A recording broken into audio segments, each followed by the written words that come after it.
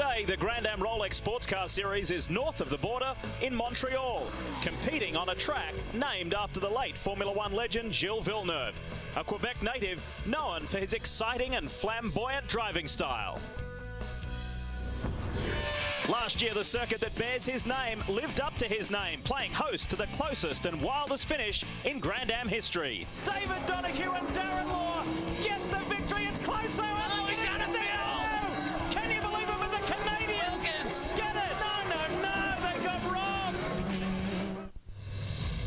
These days, everyone wants their own slice of Grand Am glory. Ricardo Zonta and Nic Jönsson victorious at the Glen.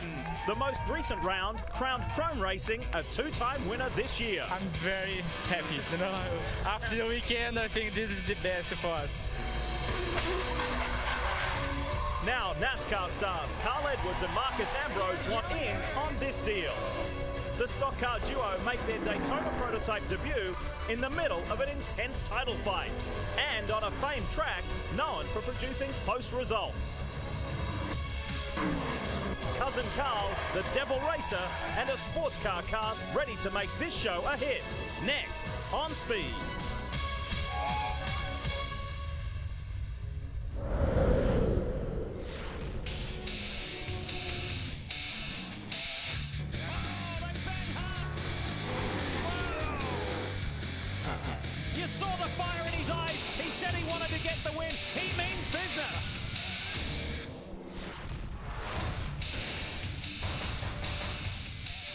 Few tracks around the world can boast 30 Formula One Grand Prix. This famed venue can, but it's also found some new tenants of late in the NASCAR Nationwide Series and the Rolex Sports Car Series. It's Grand Am's third visit in as many years as Speed welcomes you to the Montreal 200 at Circuit Gilles Villeneuve.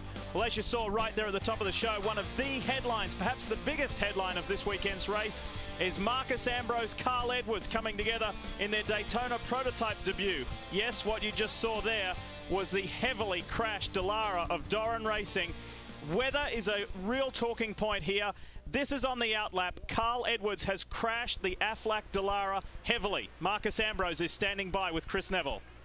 Leigh, we've had nine cup drivers behind the wheel this year. This weekend it was going to be 11. Marcos, you were just getting your visor ready on your helmet. You looked up and the car in the wall. Yeah, look, that's not what you want. Um, you know, I just hope Carl's all right. You know, uh, it's his first time in a sports car, and the rain's coming down, and these cars are treacherous on cold tyres. And uh, when something like that happens, I guess I'm, I'm just lucky that I'm not driving it. But uh, you know, it was a, a, great, great effort for us. You know, um, Kevin Doran and, and, all his boys here just did a wonderful job to get us ready for this race. Um, you know, we felt really good about our chances today, running in the top five, and just a real shame for us. Um, just got to thank AFLAC and iRacing and AU Wine for coming on board to try and help us out. It's definitely not the way that uh, we wanted to end this show. We didn't even get it started, really. Well, all the cars were making their way to the grid on slicks, and then the rain came down. So obviously, Carl caught out. But you guys had a chance to test the car. You've got a lot of running here this weekend. How much did you enjoy the Daytona prototype? Oh, look, it's just a great experience. Had to thank all the guys at Grand Am. They've got a, a, a fantastic race car to drive, and uh, the, the Doran team and the whole crew on the 77 done a wonderful job for us too to get us ready for here. But uh, we'll have to try again, I guess. Um, you know, it's just a real shame. Well, you've got one of your biggest fans up in our booth, and I know he's heartbroken right now. Yeah, I'm sorry, Leigh. Sorry to all the fans that tuned in to watch us today.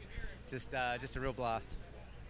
Yes, it's quite hard to believe, isn't it? And we're going to show you exactly what happened to Carl Edwards, who was very excited to be here at Montreal, Calvin. Coming off turn 10, it's about 35 miles an hour, low speed there, and he goes to this little kink here and starts to lose the car, corrects and just slams into that fence over on the right-hand side. Remember, these Daytona prototypes do not have traction control. We talked about the fact there's been some drizzling there on the parade laps, and Carl was just caught out on cold tires, it looks like.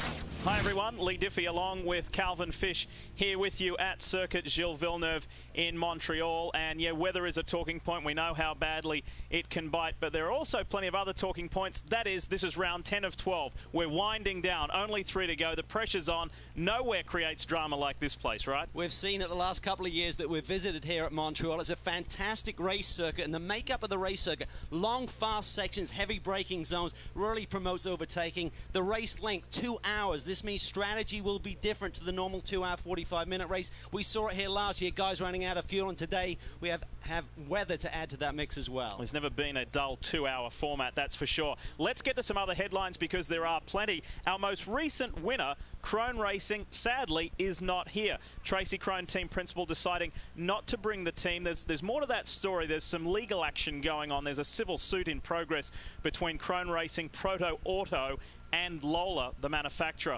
Hopefully that will be resolved soon. For the Porsche Daytona prototype cars, they have their rev limit raised to 9,600. That's the most they've had all of this season. Certainly put a spring in the step of both the Penske camps and the Brumos boys. That's created some talk, hasn't it? It really is. They like it. A lot of the other teams don't.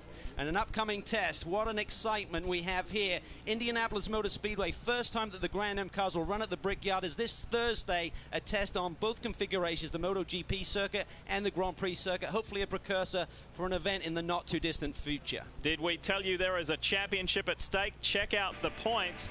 It's nice and tight. Not as close as it's been throughout the year, but it is still very, very close. 14 points blanketing the top three. Now, you could say that Michael Valiante is still in there and the Penske boys are still in there mathematically. It's going to be tough for those, so we will focus on those top three outfits running for this championship. Yes, I did mention Penske. Let's hear more from the man himself with Kelly Stavast.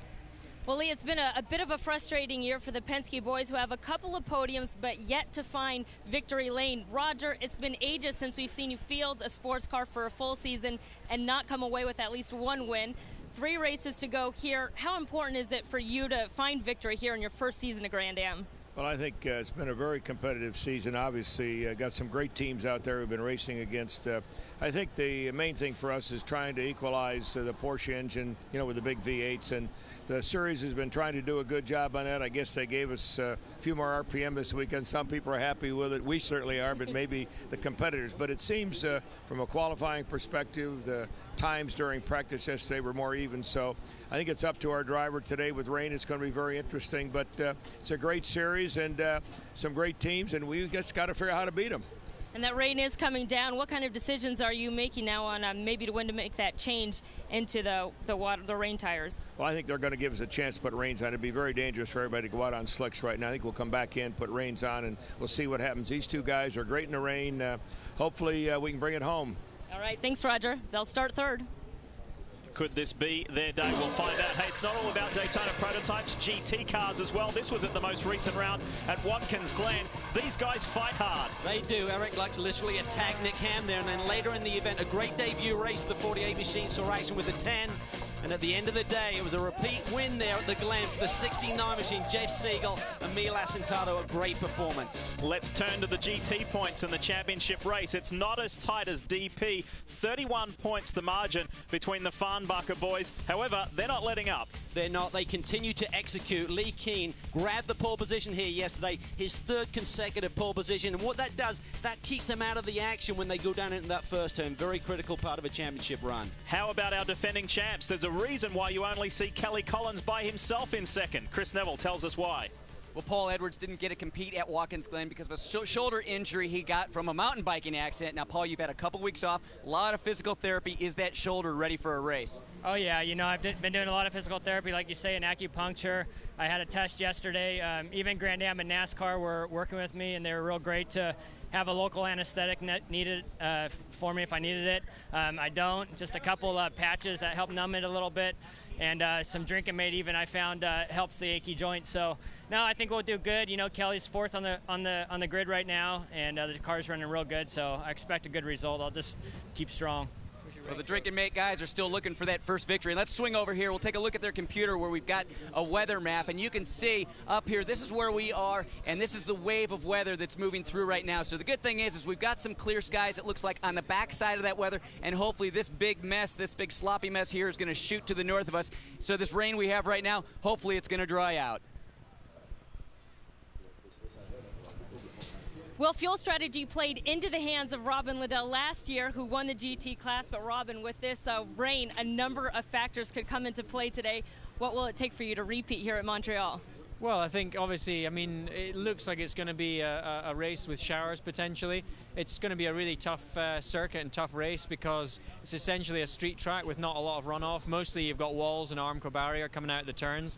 As we saw there, we've already fallen victim to one car just on the on the parade lap there. But uh, so it's going to be very very tricky. It's going to be a lot of focus, high concentration, but you know, we just need to good, do a good job in the pit, stay out of trouble on track, and uh, we had a good car in the, in the dry, and obviously we, we think we'll be competitive in the wet.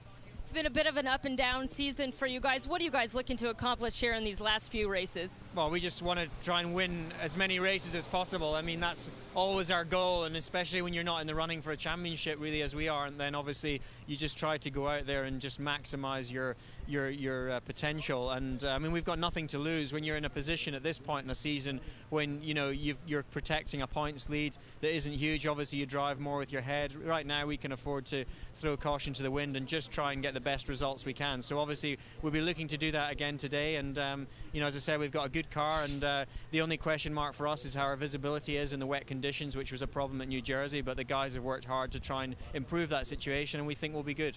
His teammate Andrew Davis starts fifthly. And the boys were told earlier today at the drivers' meeting if weather comes into play before the start of the race, they will be enabled to come back to pit road and put wet weather tyres on. You see the 45, the Orbit BMW powered Riley on pit road, so too the other BMW there. And that is a very torn up Aflac Dallara for Kevin Doran and his drivers Marcos Ambrose and Carl Edwards. A day to forget. It was setting up to be a super weekend for the NASCAR Sprint Cup stars. They were doing very, very well.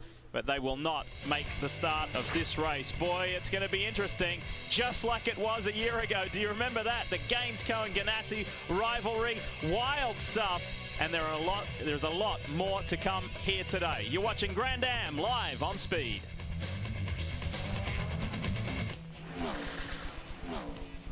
Speed's coverage of the Rolex Sports Car Series is presented on Speed by Rolex, a crown for every achievement. And brought to you in part by Pirelli. Power is nothing without control. Control is what the drivers are going to need to demonstrate today, that's for sure. And here is the playground it will all unfold on. Let's go to the Pirelli track map with Calvin. Well, just a fantastic racetrack here. Montreal, 14 turns, just over 2.7 miles. So much history. And when you look at the track configuration, the action, you can anticipate it to start very early here, right down in turns one and two. We saw that here last year. It gets really tight down through there. And you look up the makeup of the rest of the circuit, a lot of long, fast sections followed by heavy brake zones. Now, the key is this year, many of these sections through here have been resurfaced. They're really low on grip in the dry, and certainly in the wet, we can see what sort of action can happen there. This corner here that Carl Edwards coming up, 35 miles an hour through there, and then you reach a terminal speed of 176 as you approach that final chicane. So the cars are rolling. Now, quick reminder about the Chip Foose Pirelli Edition Ford Flex giveaway. As many of you will know, to have a chance of winning this special Pirelli Edition Ford Flex designed by Chip Foose, just watch today's broadcast. You need to look for a special Pirelli code word. And once you do identify that, go to the website grand-am.com forward slash Foose. Enter the prize word to have a chance at winning. Keep your eyes out for that special code word. We'll show that today and also at the next round in Salt Lake City. And the winners will be heading to the grand finale at Homestead Miami Speedway. Activity on pit lane. Well, just the drivers have gone out on this reconnaissance lap and just feeling out how much grip there is to deal with if they could stay on slicks.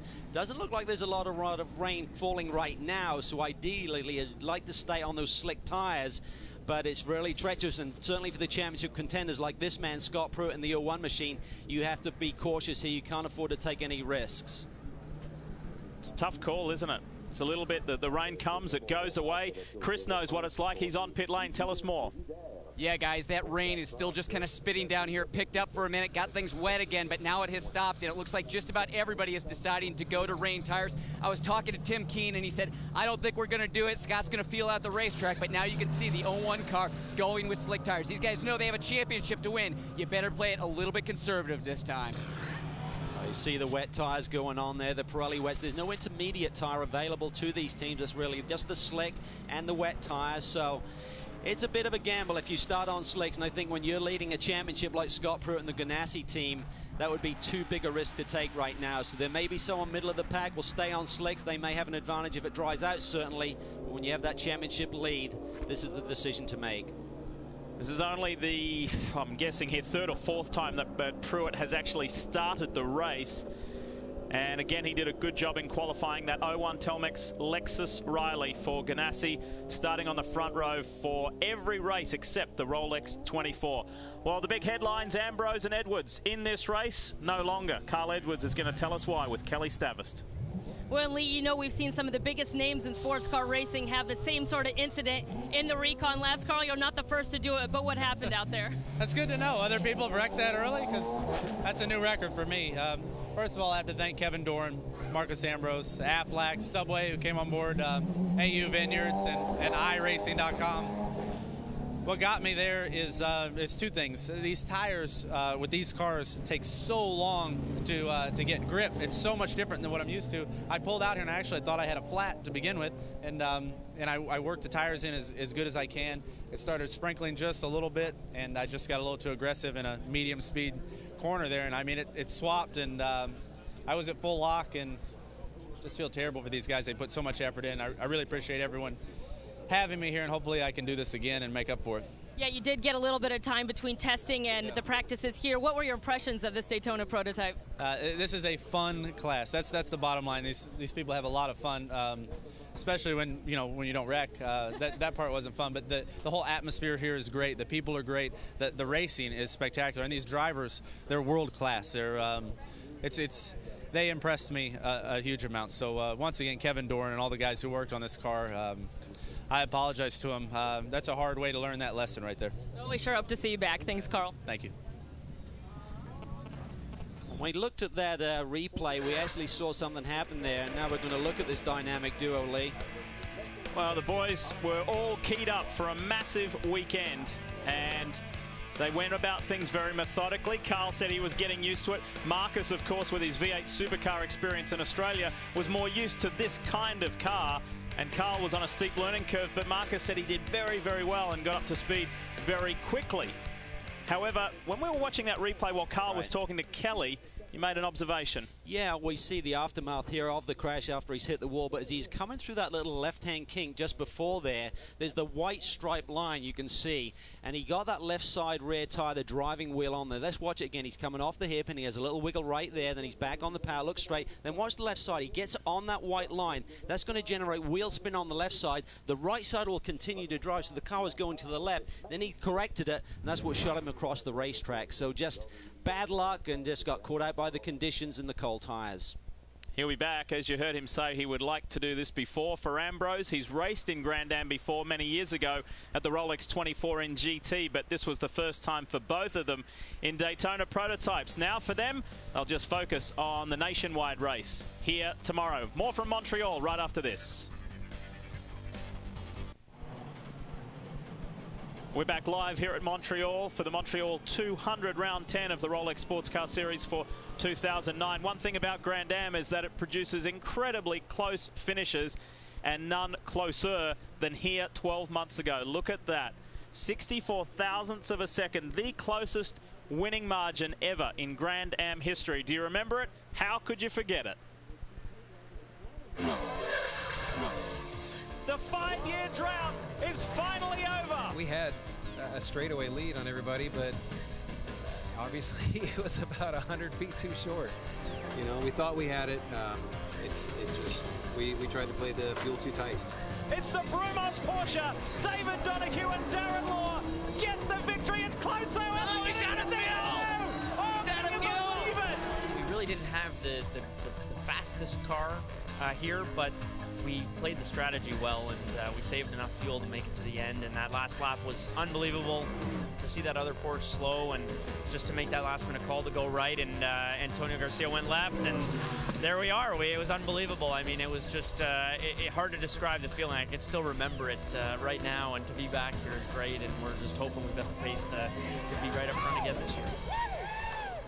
Wonderful moment for the Canadian team. Darren Law told me earlier this weekend, I can't wait to get through this weekend because when anyone talks about Montreal, they remind me of that final lap. I said, how do you think I feel, mate? I yeah. gave you the win. you didn't get it. We keep reliving it for you. so cars rolling and we're getting set. There's been a delayed start, of course, for the Carl Edwards crash and of course weather and it's going to be just one of those afternoons same as always folks as we go to the race analysis two classes on the track at the same time the big point of difference there is right at the bottom. It really is two hours. Now mandatory pit stop before the first 45 minutes is complete has to be made and that's really going to be a crucial part in this strategy. Remember when you're on a fuel map or when you're running in the rain you save a lot of fuel. Last year we saw guys running out in the dry. This rain will certainly affect that fuel mileage the cars will get and could put a lot of these teams on a one-stop strategy if they wait until around that 45-minute mark. People talk about a wonderful time for AIM Autosport. And young Brian Frisselle, who was with AIM last year, switched to Wayne Taylor's SunTrust Racing this year. And here he is, the defending race winner, and he is in the championship hunt. He and Max Angelelli can still win the 2009 Grand Am Rolex Sports Car Series. He needs a good start, no mistakes, keep it straight, and hand it over to his teammate. They have formed quite a nice duo, that's for sure. He's really done a tremendous job. He had that unfortunate incident at Barber that really cost the team in the championship. Now we're on board here with the 55 car, the Scott Tucker.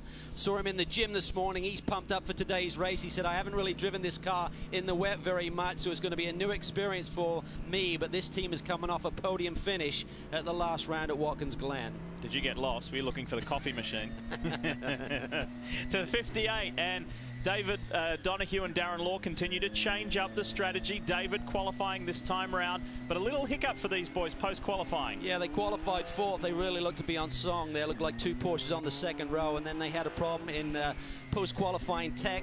Car was four pounds underweight, so they go to the back of the Daytona prototype field. And uh, the reason David is starting, he said, I wanted to give Darren the chance for redemption here at the end here today. From the 58 to the 61, yes, we've been talking a lot about AIM Autosport. This is young Mark Wilkins, who shared that win with Brian Frisselle last year. This team won twice last year. They have yet to win this year. And they're doubling up. There's another there's another car under the AIM Autosport umbrella. Huge uh, support here for them, even though the team is not from the Montreal area, they're from the Toronto area. A lot of uh, fan base, a lot of family and friends supporting uh, this team, so we wish them well.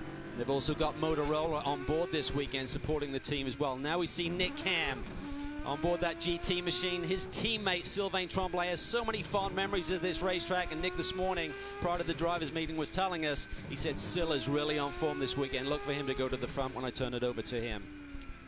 We did have one more onboard camera to show you, and that was the 77.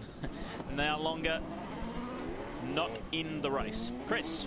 Well, you guys are talking some change driver strategies, also some fuel strategies. Talking to these teams, since it is not raining and this track is dry, and they're thinking they're going to be coming back to pit lane in about 8 to 10 laps to get slick tires. Unless we get some more water, those rain tires are going to be burning up. So, Calvin, get your calculator out. Start doing your fuel strategy when these guys are coming in in about 8 to 10 laps and see how that plays out in this race.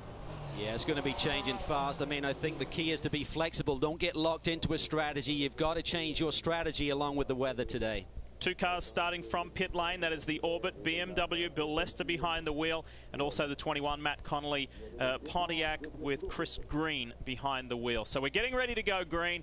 Very mixed weather conditions, mixed track conditions. You heard Chris's update there about things may dry out and those wet weather tyres will burn up fairly quickly. Let's see how we go. Two of the three in the fight for the championship start on the front row. It's a familiar scene here at Montreal. Gainsco v Ganassi. Jon Fogarty was blistering in qualifying yesterday. Great run. Green flag flies. We're away here in Canada. Scott Pruett v Jon Fogarty. These guys have a lot of history. Now look at the Penske Porsche on the inside.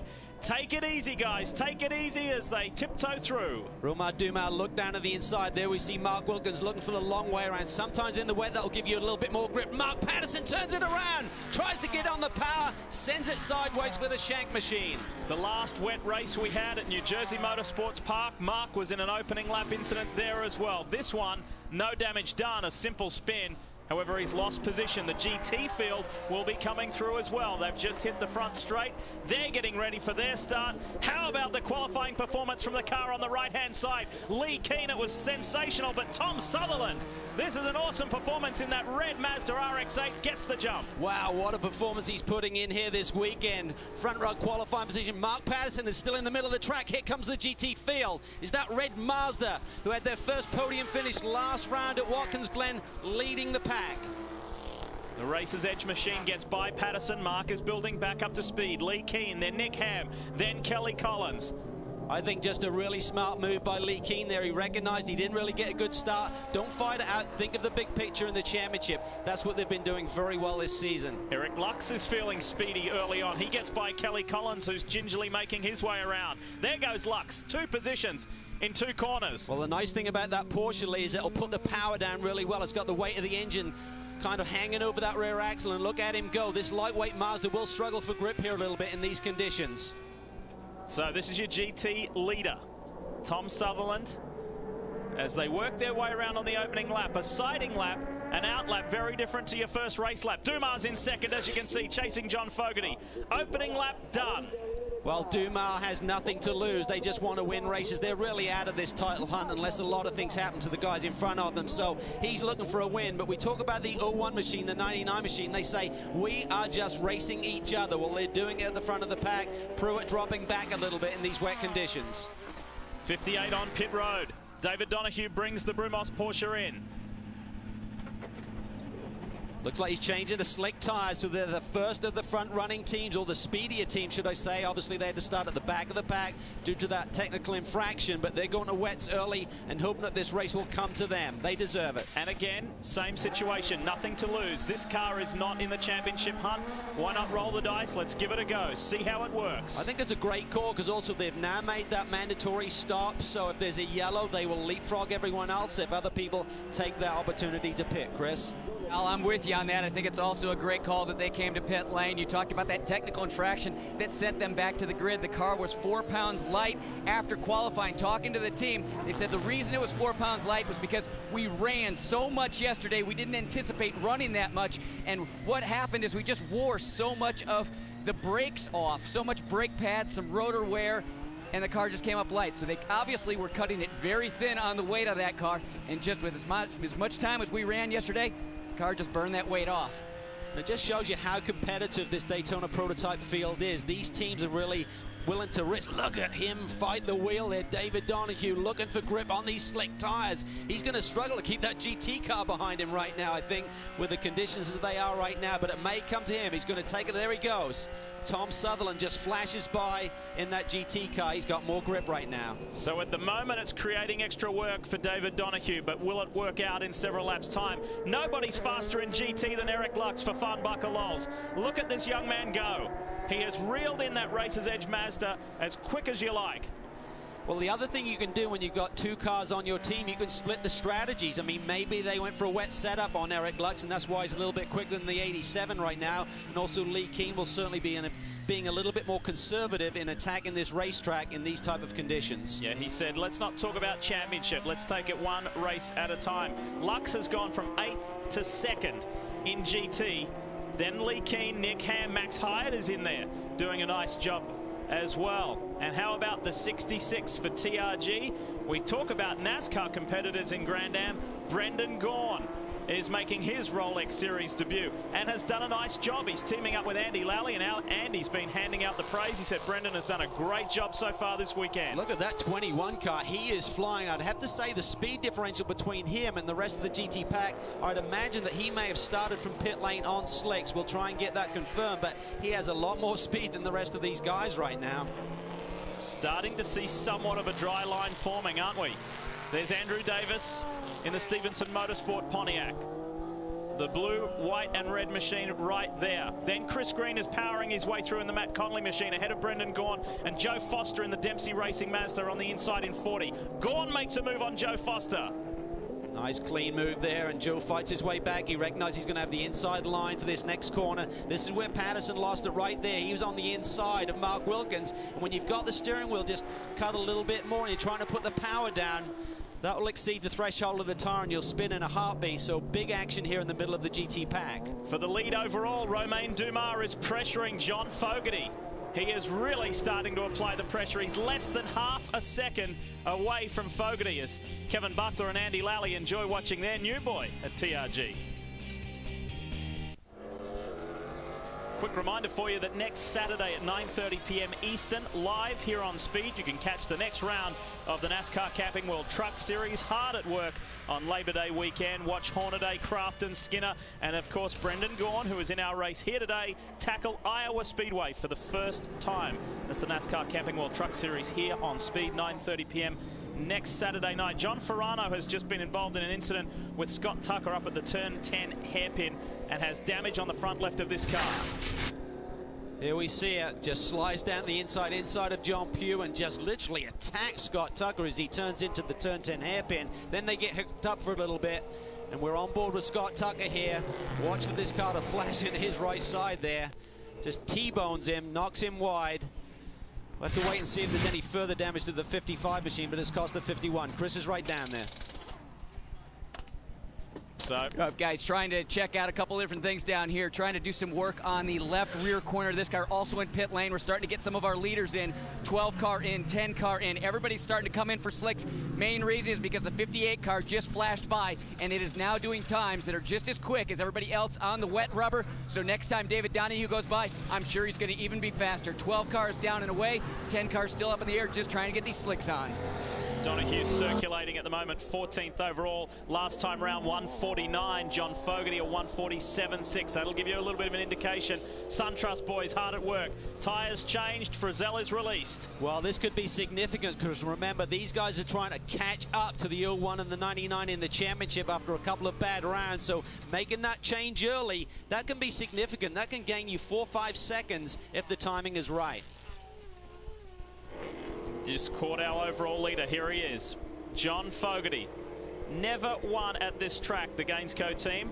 They're looking to change that little blip on the team's resume here today. So far, so good. Third consecutive pole for Jon Fogarty, and there we see the gap all the way back there to Pruett, who's now in second position, and Mark Wilkins running third with the pit stops by the other front runners. Good start from young Canadian driver uh, Mike Forrest as well. Mike's in fourth overall. Remember, there's been a little bit of jostling. Several cars have come into pit, so it's elevated him somewhat, but a good, solid start. Ricky Taylor will take over the second part of this race. So the boys are switching it up. Here's Pruett. Yeah, I was going to say, if he's going to try and fight through that gaggle of GT traffic, that would cost him dearly, so they had to make the call there. Timmy Keene brings he down pit lane, and here is our leader, Fogarty. He will stay in the car. He's not at the 30-minute mark, so expect him to stay in. He'll be in a rhythm with this racetrack, so if it dries out, that's the ideal scenario. He can read the conditions. He'll know where it's a little slicker rather than throwing a fresh driver in. Remember one of the points on our race analysis, Chris? Oh, Tom Sutherland just dropping the car. He was one of the first GT cars to come in and get on the slick tires. So that team making that call. The 01 car, Scott Pruett staying behind the wheel as the Gainsco 99 just goes by. So Jon Fogarty's still going to stay in front of the 01 car in the. Good stop by the good stop by the Telmex guys. Pruett back out. 61 car, the winning car from last year, also in. Mark Wilkins staying behind the wheel as they're going to slick tires too, guys. You see Pruett there struggling for grip, nearly understood off the racetrack, trying to get the power down. And this is where the crews really earn their money. If you are faster on those tire changes, normally it's hidden within the fuel stop, but when you get a condition like this where there's only a splash of fuel going in, it can make a big, big difference. Cal, that's where these teams are earning their money. This is also where these drivers are going to be earning their money. These outlaps on these cold tires. This is something that these drivers have been struggling with all weekend is getting these slick tires up to temperature. Not a lot of grip on this racetrack, not very abrasive, so it takes a lot of laps to build temp even yesterday when it was much warmer. So these outlaps today on these slick, cold tires going to be very interesting to see who can click off the quick times. Some of the teams going to adding a little bit more downforce, also starting with higher air pressure to try and get the car up to speed quicker. Kelly. The 86 Farnbacher Loles Porsche is in there. They were leading Eric Lux, who had a blistering start, but now they're going to the slicks, taking off those wet tires. Their teammates in the 87 already had the slicks on, so they should be good to go. We also saw the 48 of Miller Barrett Racing come in. And what a start they've had. Dave Lacey going from 12th to 6th in one lap. He's Canadian. He says that's what helps him here in the wet conditions, that he deals with it all the time. And 86 is out of here and on its way. David Donohue is absolutely flying out on track. 1 minute 40 was his last lap time, as much as 8 seconds quicker than the next closest car. So that early gamble starting to pay off, but he's a good distance back. He's got a lot of ground to catch up, but at that pace, he will be making up ground rapidly. We ride with David now. 175 miles an hour as he now hits the brake for that final chicane. 64 miles an hour minimum speed through there in ideal conditions. And this is where they lost it last year. A few feet from that stripe all of a sudden he's in eighth place overall and just a few laps ago he was nearly a minute behind he's now only 34 seconds behind race leader his teammate incidentally JC France will update you on the progress of the Brumos Porsche when we come back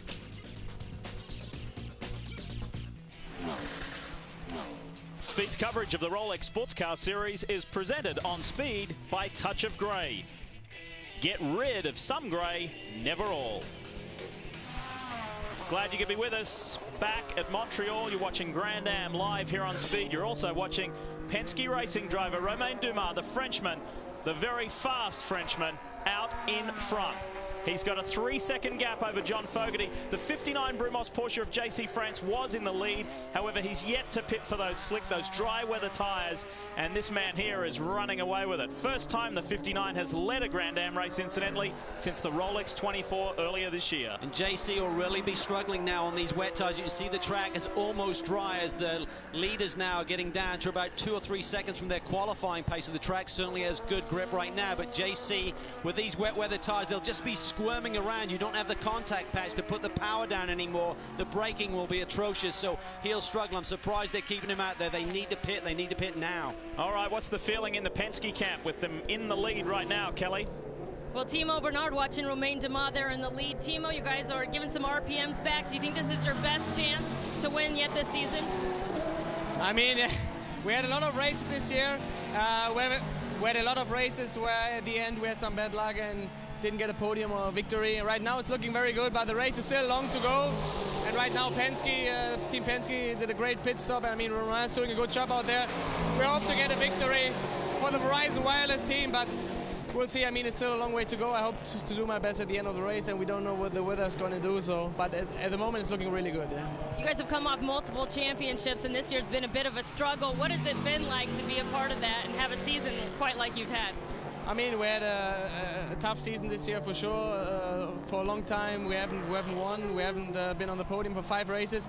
But th that's that's motorsport as well, and uh, we have to learn from it. We learn every race weekend, and I think at from the from the rules, we've been also a little bit on the bad part, you know. But now we've given back some RPMs that helps as well, so we're doing not so bad, however.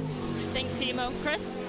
Darren Law is anxiously awaiting his turn behind the wheel of 58. Darren, last year you came within inches of winning this race. How gut-wrenching was that last 100 feet? That was, uh, Chris, that was tough, man. I, I, I, always say that's probably the worst podium position I've ever had. I, I mean, we're happy to be there, but that was tough. Uh, JC France making a lot of noise as he's doing his pit stop there. Now, the car has a lot of speed this weekend. You were going to start in the front row, but you had to start at the back. Can you guys overcome that? I think so. You know what? Um, had it been a dry start, it might have been really tough. It's hard to pass here, but with the wet conditions and everyone having to come in and out and switch tires, it's given us a chance to get back into the fight. So yeah, we're hoping. Well, they're looking like they're in a good position, and JC France was just in, grabbed a set of slick tires. He's back out on the track, guys. Hey, speaking of a fight, Jon Fogarty is taking it to Romain Dumas.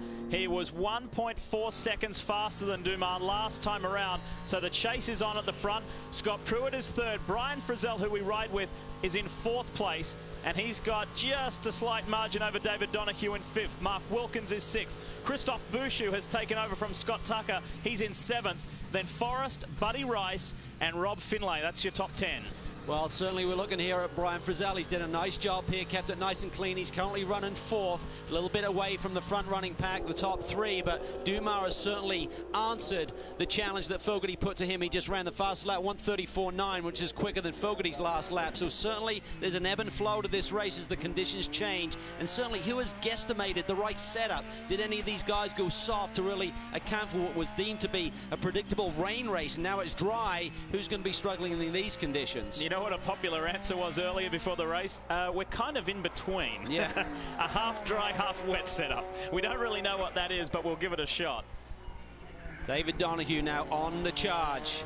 He's up to fifth and starting to put the pressure on Brian Frisselle. Last lap, he was three tenths faster than Brian, closing that gap gradually. Tell you a little update on uh, GT. Leh Keen out there and has a handy margin. He leads the pole man and championship leader in GT leads over Chris Green and Kelly Collins in third. Nick Ham is fourth and Andrew Davis is fifth. That's your top five in GT at the moment. You're watching a top five battle here overall and in Daytona prototypes. The SunTrust Dallara up against the Brumos Porsche. Brian Frisselle, David Donohue. You see those big patches through those slow, low-speed corners. That's where it's been resurfaced since last year. It's the perfect combination of asphalt. They've really researched it thoroughly to make sure they have the right combination that will last this year with the big nationwide cars attacking this racetrack tomorrow. The track was breaking up last year. They think they've got the fix. But right now, this Porsche, 400 more RPMs, doesn't really give it a lot more horsepower, but what it does, it really fills those torque gaps. Oh, JC, he'd done a couple of laps on those slick tires. He should have had temperature. Did he get involved with someone? That may be down in the 6-7 area. It's hard to tell from this angle.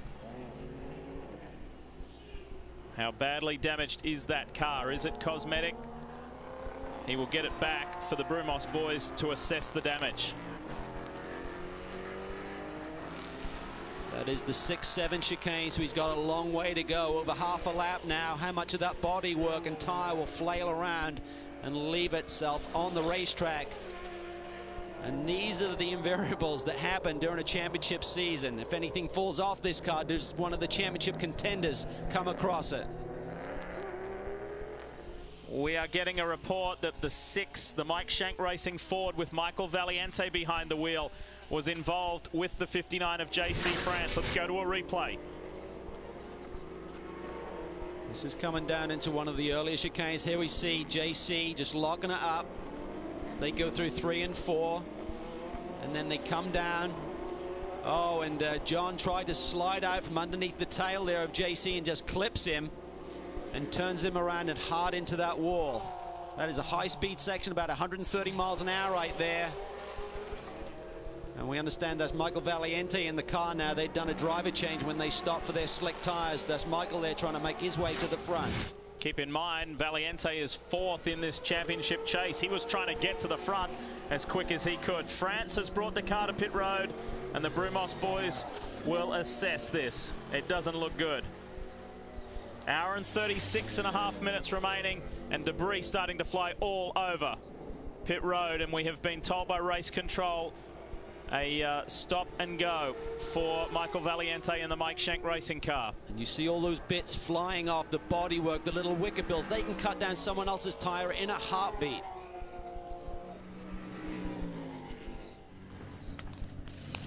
Well, guys, this car obviously slapped the wall real hard on the right side. The team looking at this right rear corner, trying to assess any uh, suspension damage in there. And JC shuts the car off, so I think this is going to be a little bit longer fix than these guys were hoping. I think they were just hoping they were going to slap some new rear tires on the car. But definitely uh, this right rear corner, yeah, we've got a lot of suspension under the car here that's bent up. So this car is either going to be here in pit lane for quite a while trying to fix that suspension, or it's going to have to go back to the hauler. What a dramatically different end of the season in 2009 to what it was in 08. JC and Joao Barbosa climbed to third in the championship last year, not this year.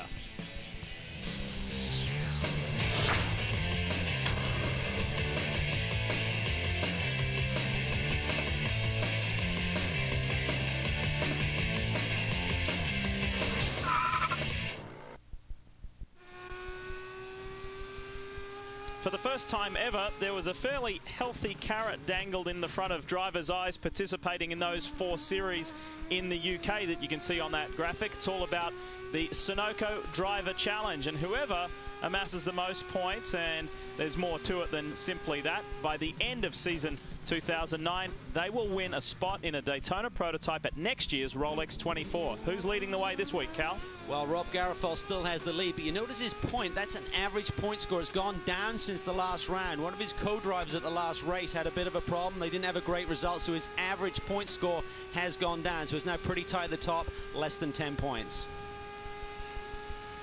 So that's the update. We ride with the 70 of Nick Ham in the fresh from Florida Castrol Speed Source Mazda RX-80. Just got by Chris Green while we're in the commercial break.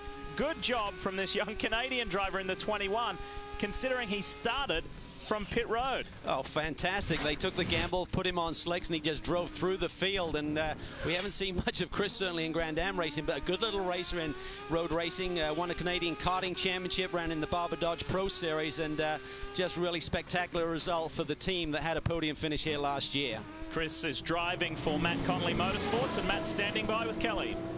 And as you watch Chris going around in second place, this is his first time in the Grand Am Series. You must be pretty impressed, Matt. Well, he had, he had quite a learning curve. He uh, had a little off-track excursions about three or four times, flat spotted a couple sets of tires, didn't hit anything, but he's showing, he's showing his learning curve. He's showing his true ability obviously when you come out in a situation like this, you don't worry about points. You can really just go for it. But what kind of expectations did you have with Chris and Diego behind the wheel here? Well, we had we had Diego last year all season. We had three podiums, including a third place here. We led 105 laps. We've lost. We never had that win yet. I think with Chris and Diego, we got it. All right. Good luck out there. Thank you. So far, so good. However, Chris Green has lost a couple of positions in the last lap to Kelly Collins and Nick Ham, which we saw when we first came back. But still, for this car, it is not the most recent, not the most up to, up uh, Pontiac. It is the older GTO-R, unlike the GXP-R that just went by it. But Matt Connolly and his guys do very nicely with limited resources. Oh, Christophe Bouchut has shortcut the turn 13-14 chicane coming onto the front straight. And that was an issue that was brought up in the drivers' meeting this morning. If you cut that chicane, you can't stop or you're getting challenged for position. As long as you don't gain anything. Now he's wide again. Whoa, he's really pushing hard. One of the most aggressive drivers in the series coming off a podium finish at the last round at the Glen. But Mark Raffauf told the drivers if you gain position through that chicane, you have to give it back. If you gain time, you have to give it back immediately. They'll be analyzing that. And if you don't, you will pay the price. Speaking of gaining time, look at the Red Dragon. Jon Fogarty has reeled in Romain Dumas. We were talking about the weather yesterday, and he said, John said, I'll tell you something you may not know about me. I said, what? He said, I didn't do it for the whole time. He said, but for a very brief time during my college days, I did a major in meteorology. and he said, it hasn't really helped me that much. He said, but I do find it quite interesting. That would certainly have come in handy today with everyone scrambling and scratching their heads, looking at the sky throughout this morning's hours, just wondering what we'd see at race time. But Romain Dumas certainly feeling the pressure. Fogarty has dropped it down into the mid 33 range and Dumas is stuck in the 34. So certainly the 99 car has a lot of speed. Remember, they're four points behind in the championship, and right now, Pruett runs behind them. Both Riley chassis cars. It's a Porsche power plant in the 12, and it is a Pontiac power plant in the 99. And they're also looking at their options for next year. Certainly with GM support going away, will they stay here with this power plant? Spoke to Bob Stallings this morning. He said there's one other very good option we're looking at. I should know more in a couple of weeks. What a contrast as far as experience on circuit Gilles Villeneuve. In the Verizon Wireless Penske Porsche, neither driver had driven here before. In the 99, these boys have driven here quite a bit back to their open wheel experience in the Atlantic Series and including the last two years here in Grand Am Series competition. Fogarty got a great launch there off that chicane. He really had a lot of exit speed. Now he goes down to the outside, really working Dumas over. He'll cut back to the inside. Who can get the power down best? This is the long stretch. 35 miles an hour an acceleration run up to 175 miles an hour plus. Fogarty tucked right under the rear wing of Dumas. He's going to be defensive. There's traffic up ahead. Romain is going to have to be decisive. We know that he is that. So he's got the 86 Farnbacher Loles Porsche to get by first and he can't quite do it there. Into that final complex and onto the front straight. Watch them down into one. But remember the big picture. Fogarty's got a championship to think about. Dumas has nothing to lose right now, the way the championship standings are. He, Roger Penske, Timo Bernhard, they want victory. There is a big gap. There's a substantial gap between this car here, the 99, and the next in line, which is Scott Pruett in third place.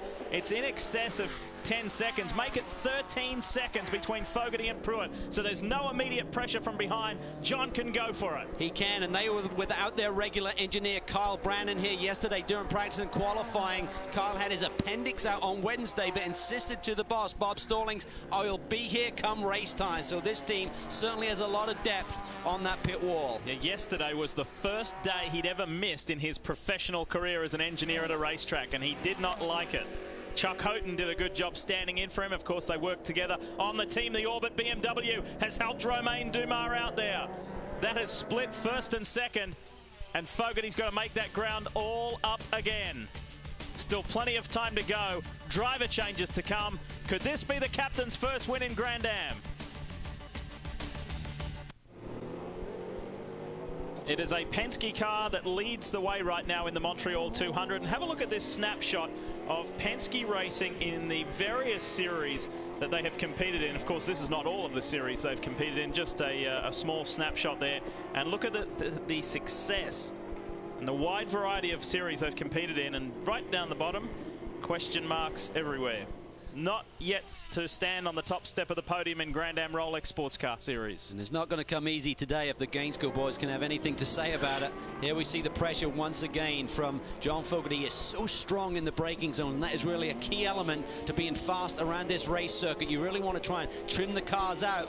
That not only affects the downforce through the corners, it affects the downforce in the braking zones too. But the 99 boys have really been the masters of really creating a car that has good ability in the braking zones throughout the years. And do you remember that braking zone 12 months ago when he and Scott Pruett came together? John was livid after he was handed down a penalty. Some argued it was the right call, some argued it wasn't. It was what it was, and John had to do the penalty. And he's being very mindful of that right now in his pursuit of Romain Dumas leading and leading well. Order is Dumas, Fogarty, Pruett. That hasn't changed. Now John is trying to make the most of this traffic. The Gainsco Riley tried to go around the outside, and Dumas is doing a wonderful job through the traffic. He really is holding his poise very well here, just showing his experience. He's been in this situation so many times, running in multiple class racing before, of course. But it is tricky around this racetrack. I mean, you've just got to read that traffic and time it perfectly and position the race car. You're not necessarily going to take the fastest line through the corner, but position the race car where the guy behind you cannot get by. Behind Pruett is Brian Frisselle. So as far as the three championship contending teams, it is power to the Gainsco gang at the moment. What's going on at SunTrust, Chris? Well, just a couple laps ago, David Donohue was right up underneath the gearbox of Brian Frisselle. Now Brian Frisselle really pulling his way out. Wayne, a lot of these teams were complaining that it was taking a long time to get tires up to temp. It looks like that was the issue with the 10 car. Now that car's looking very fast. Yeah, we've been struggling with uh, when there's cold conditions on new tires. But we seem to be running the same lap as the leaders. You know, we've obviously just lost uh, a lot of time in the pit. We had a problem on the right front. But he's doing a good job. It's still a long way to go. You had that blowout at Watkins Glen. It dropped you a little bit further back in the championship. Is there still time for you guys to claw your way back to the front? Well, obviously, we've got to look at every race. We've got to try and win every race. But um, as you can see now, the Porsches are really fast. So uh, we've got something new to the mix. But, um, you know, I, guess the, the, the pressure is probably on those guys more than it is with us because of the deficit. So we can concentrate on just trying to win a race here. Well, Brian Frisselle is laying down some of the quickest laps on the racetrack, so maybe today will be their day. Well, Wayne certainly brought up a good point with the Porsches now looking a bit more competitive. That will play a factor here because think about this. If the 99 car is able to get around the 12 car, the 12 car will then pad the points back to Pruett. So that could be a significant factor here in the final three rounds of this championship. This is good stuff. Good head-to-head -head fighting at the front of this field. We mentioned the history, the enormous history of Formula One at Circuit Gilles Villeneuve. Who was the Frenchman, the last Frenchman to win in F1? Oh, it's a problem for the 60 car here, Leigh. Mark Patterson has had an eventful day here in Montreal, to say the least. No damage done. He's able to point it in the right direction and get going again. Qualified really well. Seventh spot, which was then promoted up to six with the 58 car problem after qualifying, getting put to the back But the Mike Shank boys just can't seem to catch a break. We saw Valiante get into the 59 machine. He had to suffer a drive-through penalty, so things not going their way again today. Dumas will hand over to Timo Bernhard. Fogarty will hand over to Gurney, but not before he really puts the fight to this man here in the Penske Porsche. He's hounding him now with less than an hour and 20 minutes to go. He is really using all of the road. He's all the way over that curbing on the exit of that final chicane, just looking for the exit speed to maybe be a little bit closer and then be in position into these brake zones to take advantage. Remember the two aspects on our race analysis 30 minutes every driver must do to get championship points, and every car must stop within the first 45 minutes. Those criteria have been satisfied here. Not a problem. What's the team leader think about the 99, Chris? Well, he's watching his car go around the racetrack right now. And Bob, points are so important. Three races to go here. How much pressure are you putting John on to try and take the lead of this race? Well, yeah, John, yeah, John knows what to do. We've uh, we, have already told him a couple times to be careful. We're really not racing the 12 car. Uh, all the guys get a stake if we beat that car, but uh, the, the points are better for us. So we'll we'll leave it up to him. This season is starting to look a lot like 2007, the battle between the 01 and the 99. What did you guys learn from that year to try and beat the 01 car? Well, I mean, the, the, there really is no magic to it. You got to stay on the track, obviously, and you got to be there at the end. That's the key. In 2007, it all came down to that last round at Salt Lake City.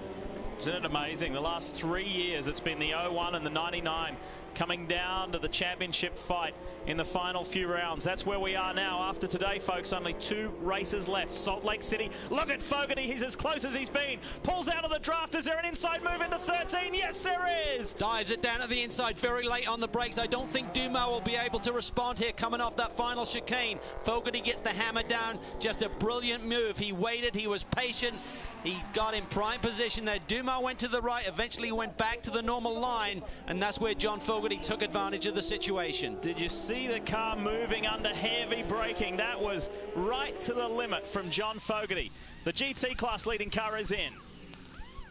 The 87 Farnbacher Loles, and now Leh Keen gets out, and Dirk Werner will take over the driving duties for this car. They're hunting for a championship. They said they know they have to be careful because everyone else is going purely for wins at this point.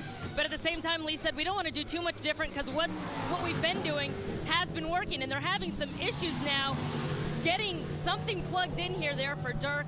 It doesn't look like it's going to affect their time overall as they're still fueling up the car. Just behind them, we also see the Dempsey Racing number 40 come in. So Charles Espenlaub will be taking over those driving duties for Joe Foster. Patrick Dempsey, of course, not able to drive uh, this race because of uh, he's still filming a Warner's Brother movie. He's very disappointed, but hopefully we'll get to talk to him later in this race, guys. This fueling, Kelly, has taken an eternity. You see the consternation with the crew. You can see it in their body language, like what's going on with this refueling. The 40 is leapfrog, so it looks like they may not be getting fuel flow. They wait for it to bubble. There it is.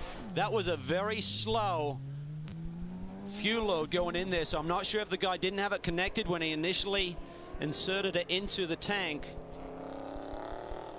Bit of a mystery, that one.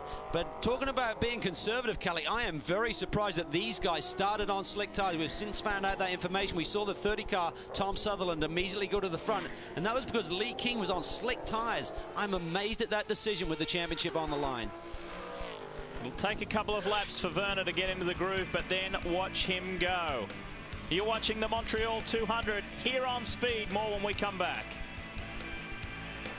an auction. It is truly an event. Welcome back to Montreal, folks. Leigh Diffey along with Calvin Fish, Kelly Stavast and Chris Neville. And just think, Cal, if you hadn't bought that big grandiose house, you could have gone to that Barrett Jackson auction. Huh? It said real sellers when we saw Dorsey, not buyers.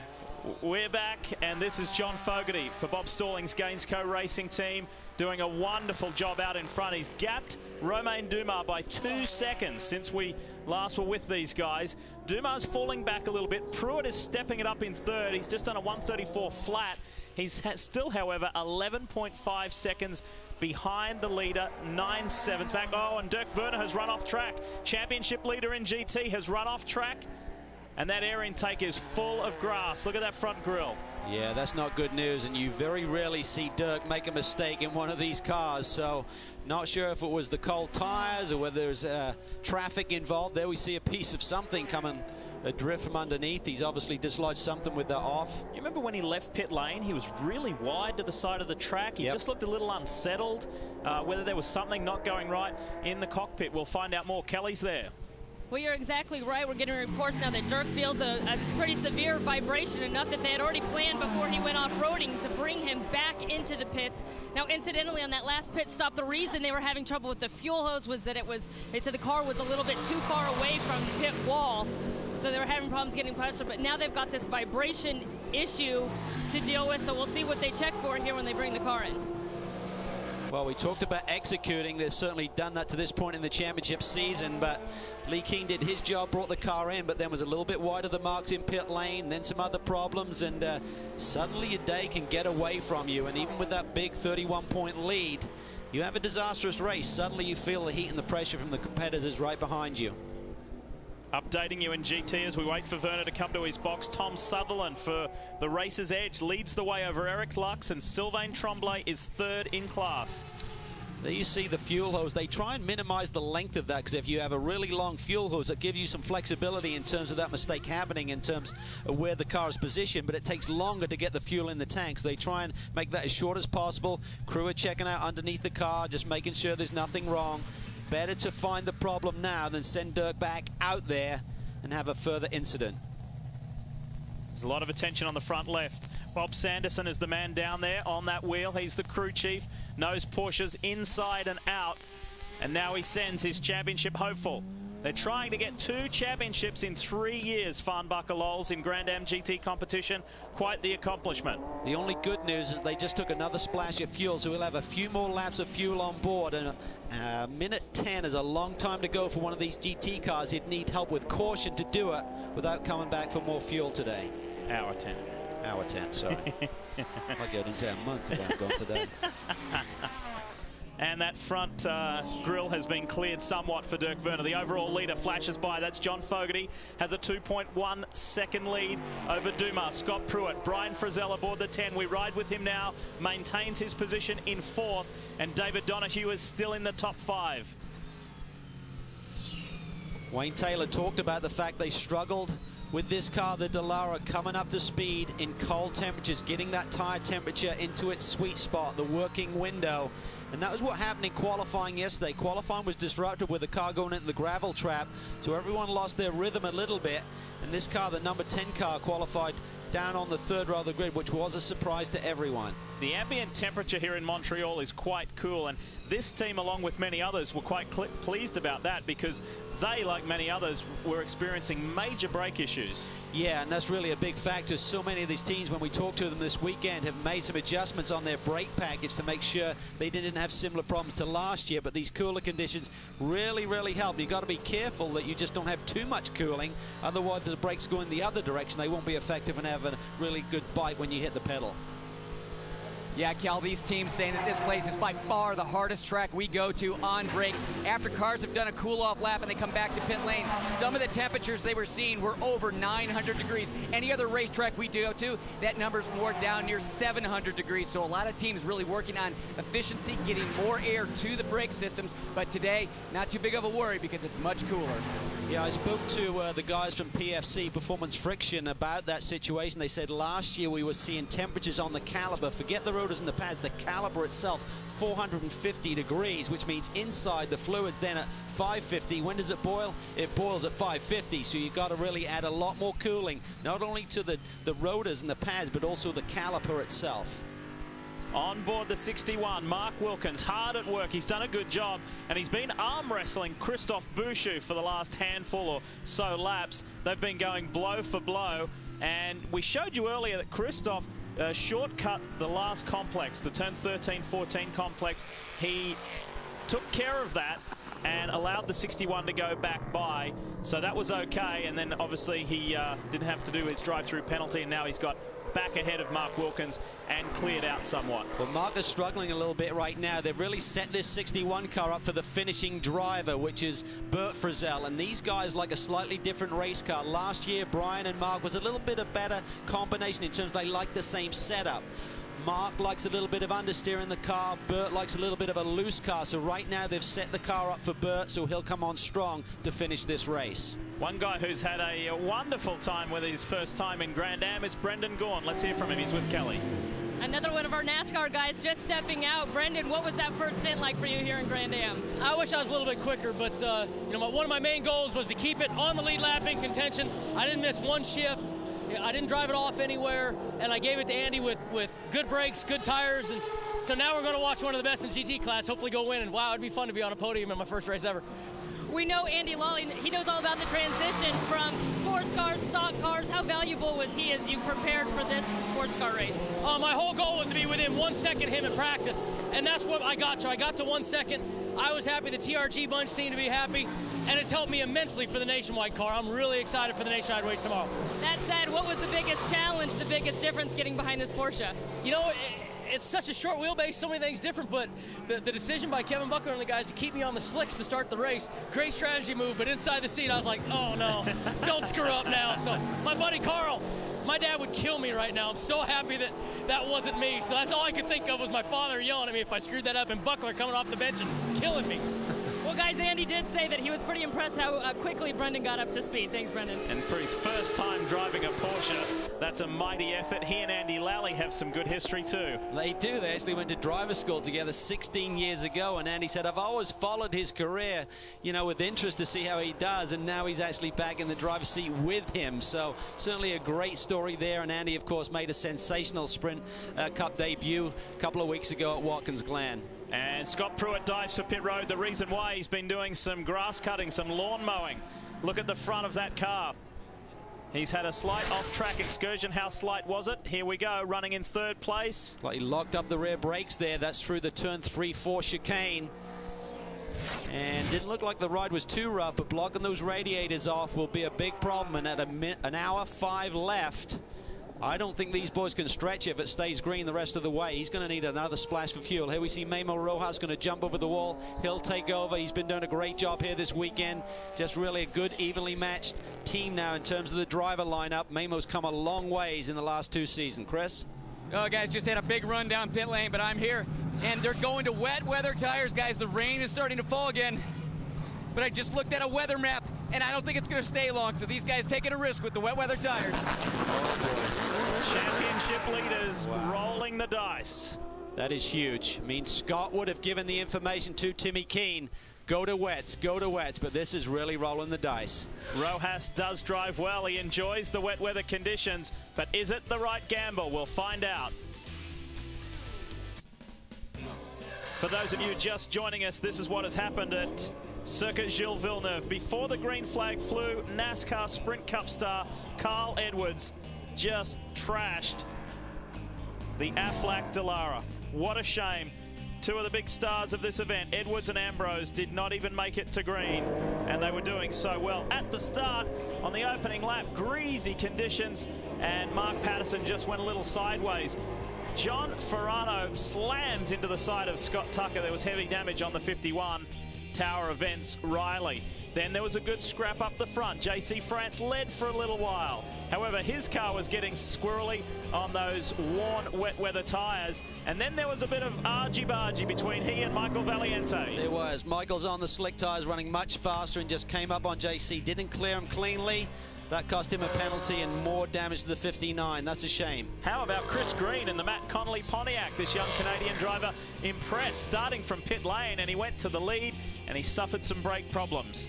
That put a dent in his campaign. Great move, move of the day. Jon Fogarty on Romain Dumas for the lead of the race. They were right to the limit, both of them on their braking. That was a great move, and it got the applause of team owner Bob Stallings. Fantastic stuff, and here we see championship leader Scott Pruett taking an off there as we start to get some drizzle. Shortcuts the chicane, had to pit, grass in the radiators. They went to wets. Is that the right move? Can you believe that stat there, considering these weather conditions? Zero cautions. No.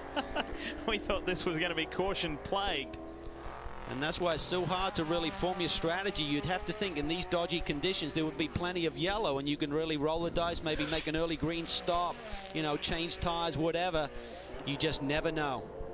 So, rain starting to fall, as you can see, and the choice. The big thing that we're going to follow here is the 01 Telmex Chip Ganassi Lexus Riley with Memo Rojas behind the wheel has gone for wet weather tyres. Other teams have stopped and gone for scuffs like the 99, right, Chris?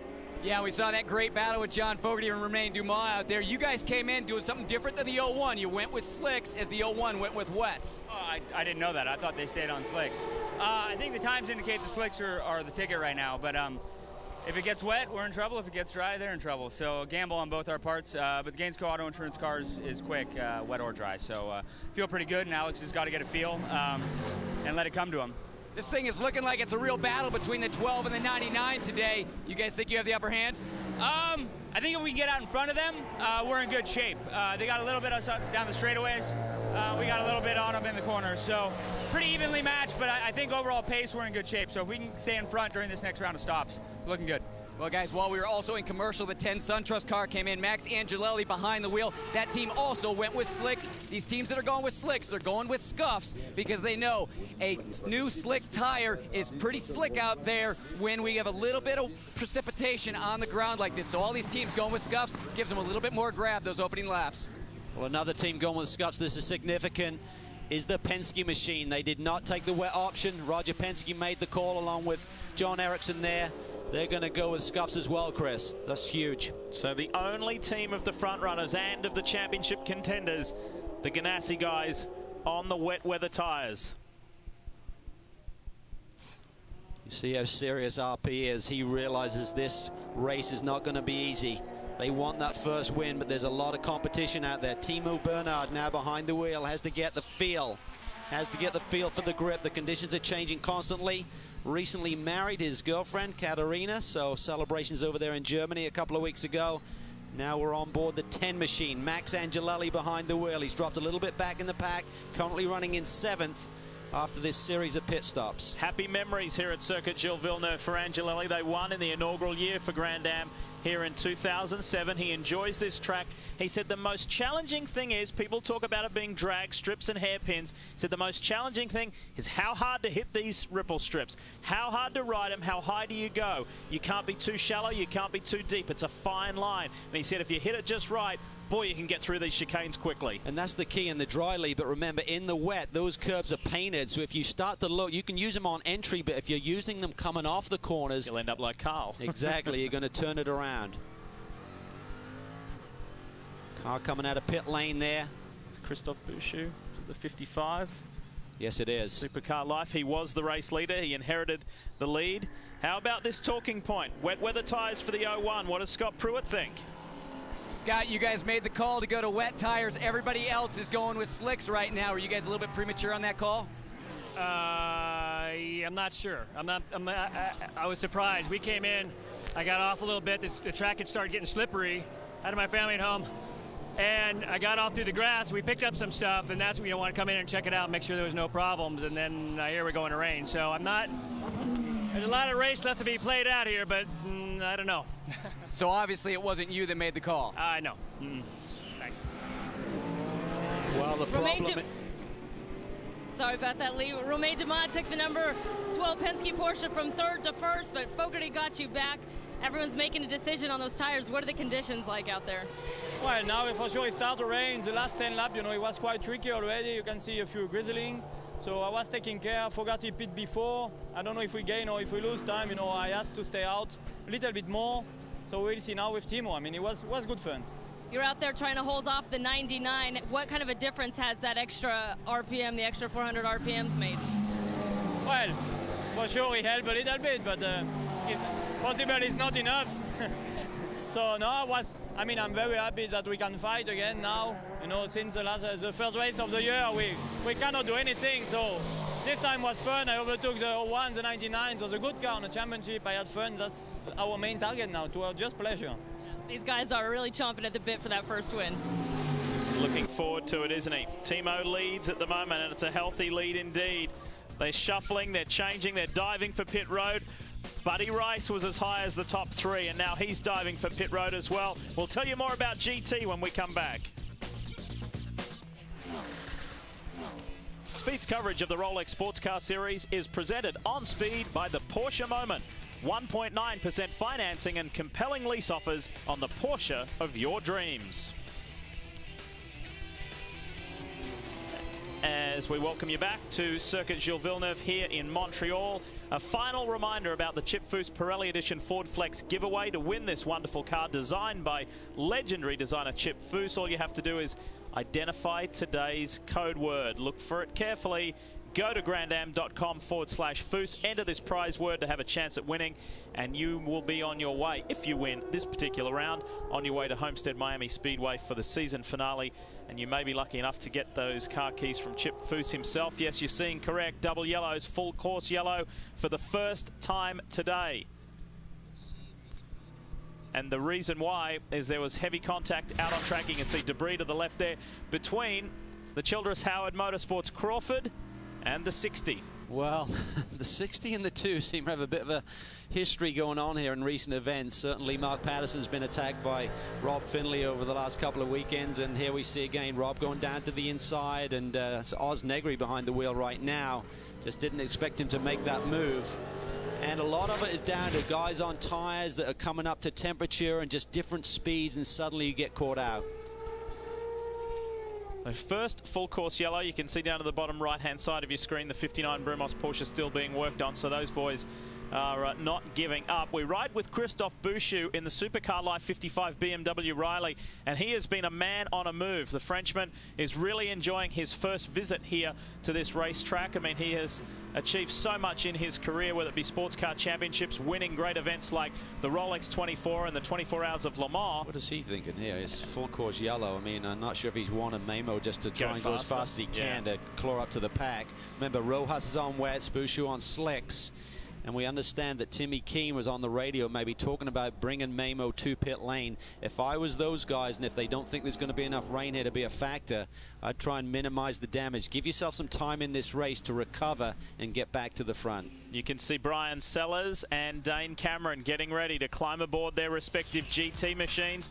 The Farnbacher Loles boys like Brian Sellers. They said, hey, you're the rainmaker and you're our good luck charm. Last time you were with us, we were both on the podium in New Jersey.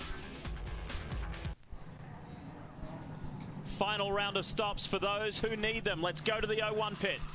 This is exactly what Memo Rojas needed. He needed to get to pit lane, get some slick tires because he was about 10 seconds slower than all the other competitors out there on slick tires. He just needed tires because they filled the car up that last time. So very quick stop.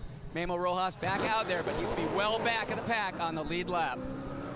He is going to have the pressure put on him right now. They were leading the championship coming into today's race. Now he's mired in the middle of the pack with the guys who are right behind him in the championship running towards the front. So he's got to be careful, but he's got to make some moves. He can't afford to have a big point swing here today. Uh, He'll fuel to burn, of course. He's topped up. Let's pay some credit to the 90 Spirit of Daytona Coyote. There it is right there, just to the right of your screen. Uh, Buddy Rice, Indy 500 winner, has done a very good job in tricky conditions. He's just handed over to this year's Rolex 24 winner, his co-driver in that car, in the Brumos car earlier this year, Antonio Garcia. Had So- an engine problem yesterday, Leigh, what really stopped them from making qualifying session. They had, uh, they believe, a ring may have gone, which caused the crank crankcase pressure to uh, go over the threshold and change the motor late yesterday. So didn't get a lot of track running, and that really hurts you on these two-day programs. Do you like it close with just two weeks, uh, two rounds to go? It would be all tied if they were to finish as they are right now. And the SunTrust boys would gain two points. They're currently 14 out of the lead right now, two at a time. Not enough at this stage of the championship. So the 10 needs to do something dramatically different. And the pressure is on. But I believe that points of as of now is before Rojas made his pit stop, so uh, that's going to change dramatically here with him mired in the middle of the pack. We spoke about the Indy 500 winner, Buddy Rice. He is building his experience in the Grand Am Rolex Sports Car Series. How did he enjoy that run, Kelly? Well, he and Antonio Garcia have really been uh, in the process of developing this number 90 car. Buddy, it had never been wet. It didn't get too bad here, but how did it hold up under those uh, initial wet conditions? Yeah, it wasn't too bad because I think, you know, it sprinkled, and once we got out there, the track was already wet. Um, we didn't have a big downpour. I mean, obviously, we have some leaks and stuff we know we need to fix now, but, you know, we made some some progress from yesterday and uh, in the practices to, to the race. We've gotten a little bit closer to the pack, and, you know, we're definitely working on it. You know, some of these tracks are really fast at, and we're in the game, and, some of these tracks we come to are uh, not as close as we want to be. So uh, we'll keep working on it. You know, see what happens here at the end. But uh, you know, these guys at Spirit Daytona have been working really hard, and it's going good. You said the most important thing was really just to get the laps on this car, get it to finish. It hasn't finished yet. Besides that, though, do what, what kind of a move do you think you guys can make here in the final uh, closing minutes of this? Well, it looks like I think we've gone down a lap now, and we're the first car on the lead on the down one lap to the leader. So I don't think we're going to be able to do much now. It's too hard to, to make something up unless something really weird happens. But uh, you know, let's keep pounding out the laps here. We'll just uh, get some more time on the car, and uh, you know, we'll get ready for the season finale. All right, thanks, buddy. This is the new generation Coyote and they had some harsh luck at the recent round at Watkins Glen where they really should have been in the top five. But one step at a time, and Troy Flis and the Spirit of Daytona team are doing a wonderful job. Speaking of an outstanding job, how about the Racer's Edge Mazda? Dane Cameron standing by. We say well done, Tom Sutherland, for an awesome opening stint. Well, fantastic job by these guys once again. I think Chris is down there. Yeah, guys, they did not want to see this caution come out because this car was 25 seconds in front of the second place car. So they were just getting ready to come in when the caution flags flew, and they had to give up that 25 second lead. But a great outing by these guys. So often we see the Mazdas of the 70 and the 69 catching victories, but I think this 30 team and also the 40 team are really right on the brink now of getting a victory for Mazda. This team coming away with that third place podium finish back at Watkins Glen just a couple weeks ago. The car is down.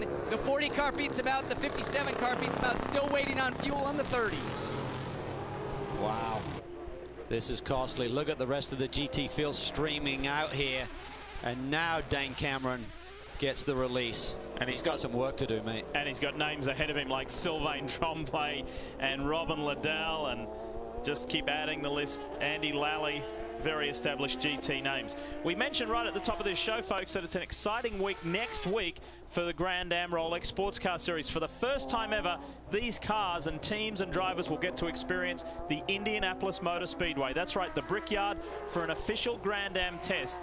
Is it news about the future? Will we see Indianapolis on the annual Grand Am schedule maybe in 2010 or 2011? Who knows? We'll find out. But here are the thoughts of the drivers about that exciting test.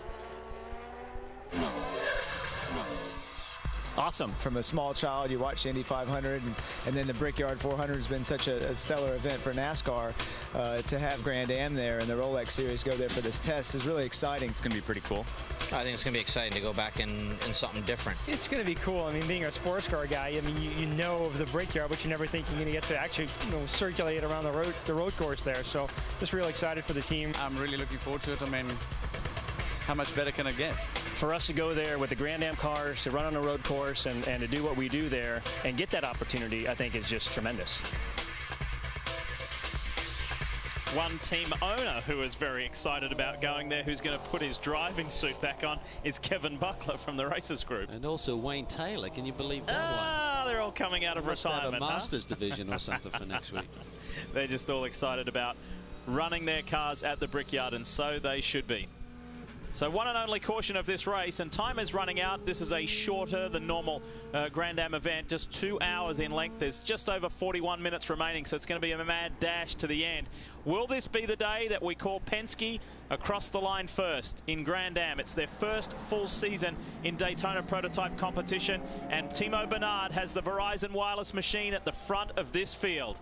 Ready to go back racing, ready to go green, Will Penske have the advantage? Watch for the red car, third in line. Alex Gurney is keen for his first win at Circuit Gilles Villeneuve. He gets through on the inside of Garcia. He really is. There's some lap cars there in the mix. The 90 cars are lap down, as is the 61. But right now, Gurney is on the tail of Timo Bernhard. Can he have the advantage that it seemed like his teammate had in the earlier going?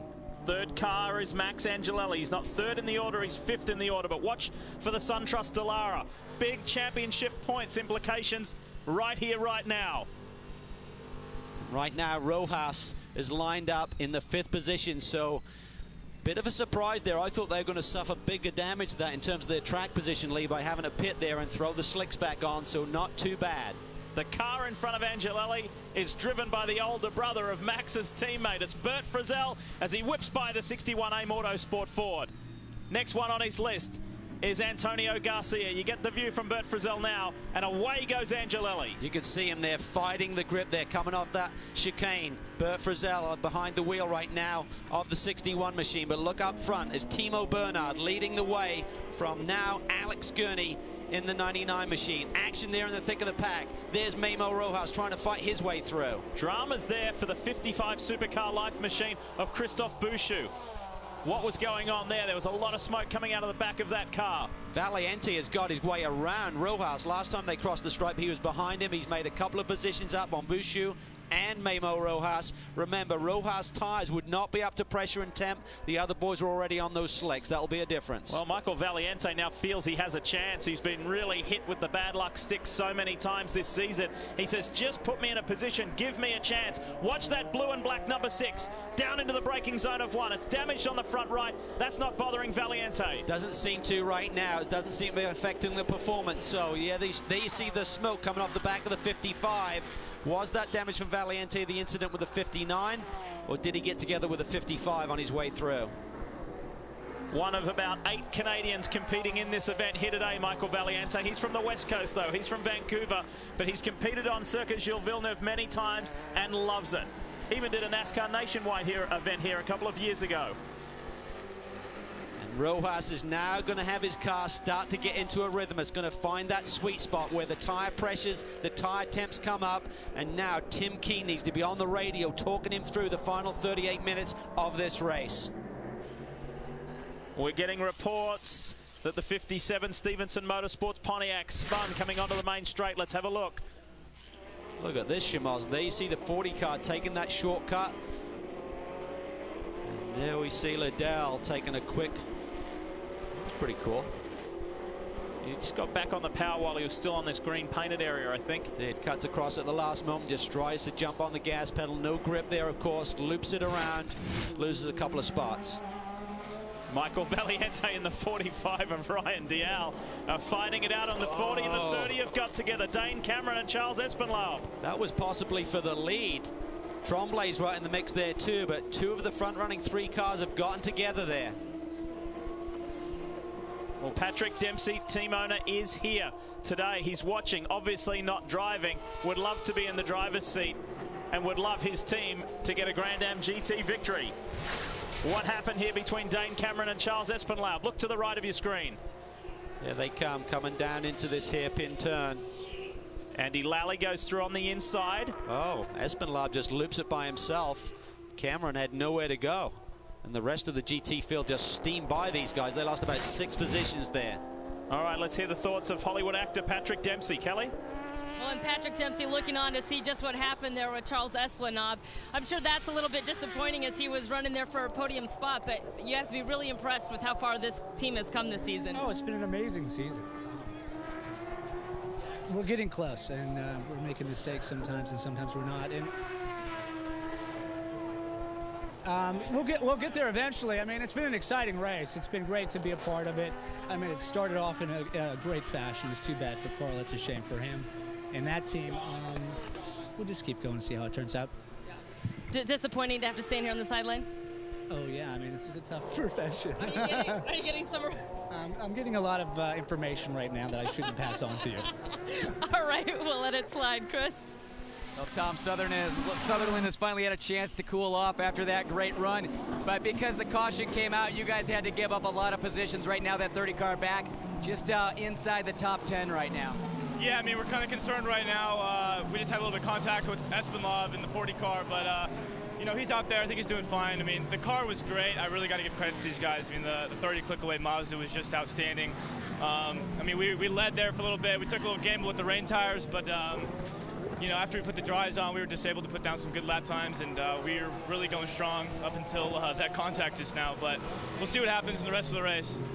Well, guys, this team is ready to break through, and just as we sort things out, the track gets dry. The rain is starting to come again, guys. The rain is starting to fall, and some of these teams are starting to get their wet weather tires back up on the wall. And you can see Timo Bernhard, he's getting loose everywhere. So too was Alex Gurney, and Angelelli is taking it easy as well.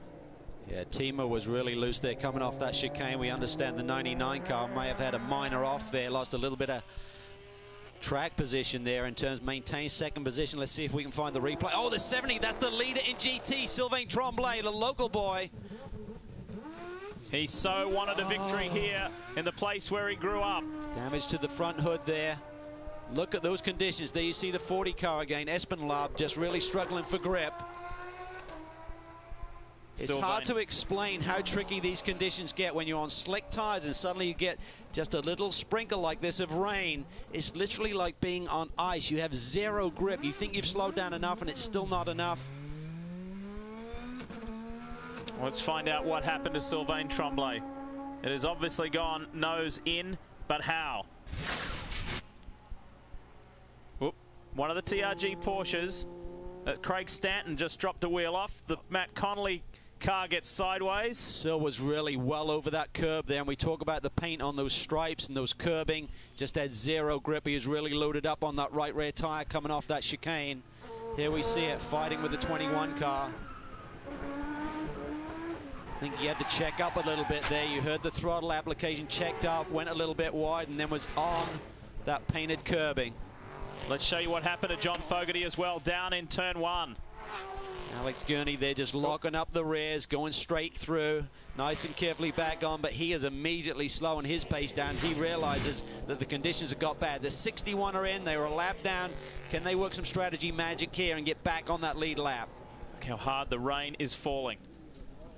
Tough day for both the 61 and the 51. The AIM Autosport team has had a very trying day at a venue that has brought them so much joy in the past. And you are just mentally exhausted in these conditions in terms of the driver and just the grip level is changing constantly. Oh, this is what we didn't want to see. Sill has pulled it behind the wall. Day- Leading the race league. What a tragedy. Done. Day done for the man who grew up here in Montreal. Now Florida is home. This race is over for Sylvain Tremblay. The one that they really felt they could win. Tricky, tricky conditions with just a little over half an hour remaining.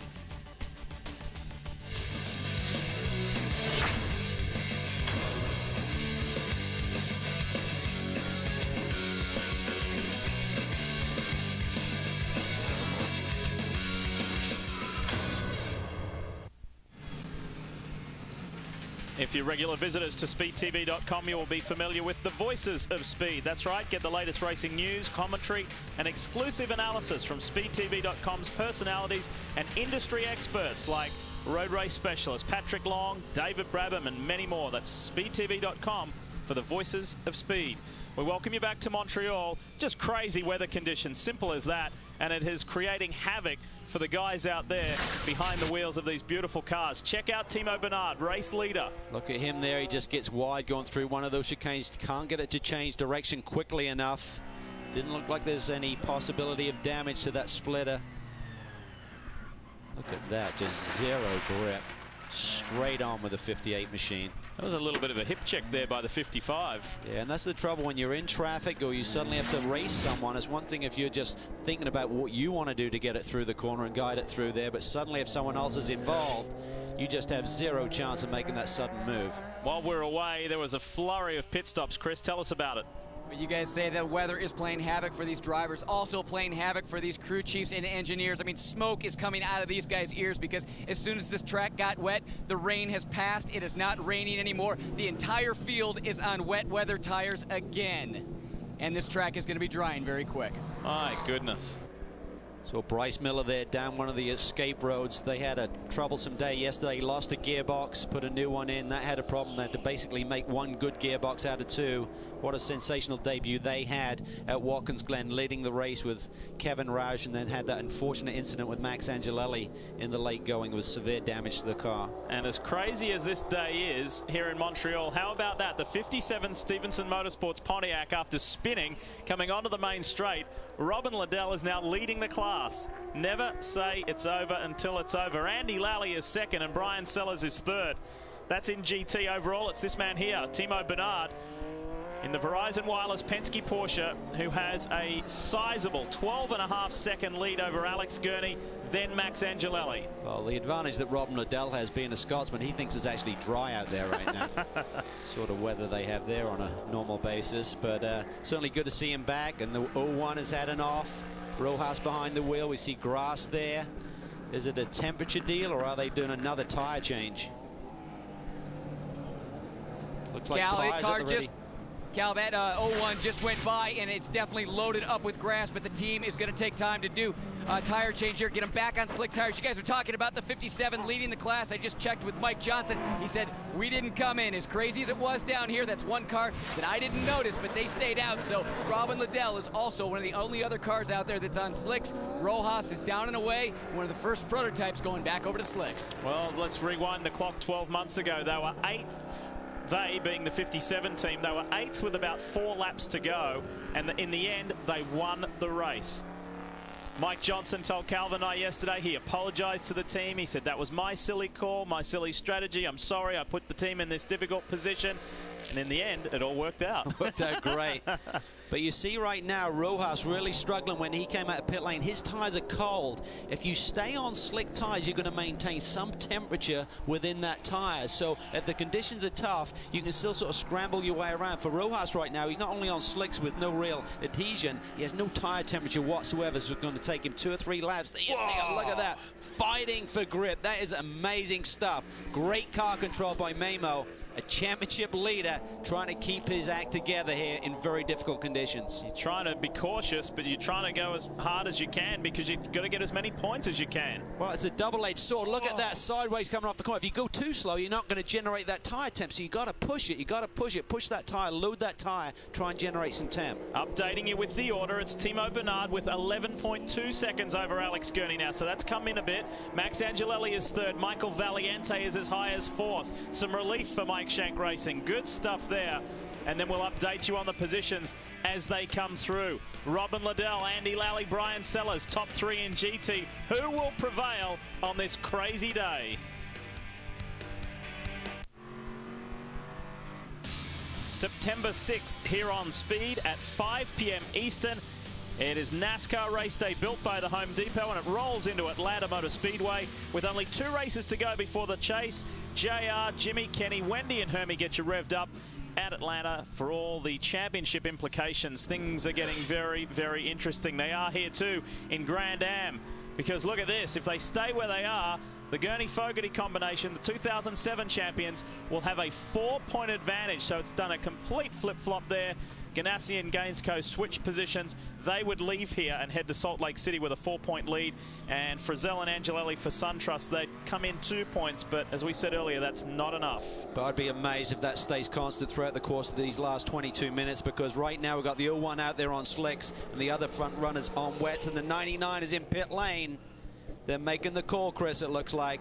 Yeah, the 99 coming in. It looks like the SunTrust boys are starting to set up for a pit stop too. So these guys deciding this track is starting to dry out. I walked over to the team, put my hand on the tire that's going on the uh, right front corner right now, and it's a tire that just came off that car. So a lot of heat still left in that rubber. I'm sure that uh, air pressure is still probably up there too. So Alex Gurney is going to have to go out, probably fight himself around a very slick racetrack, but it is drying quickly.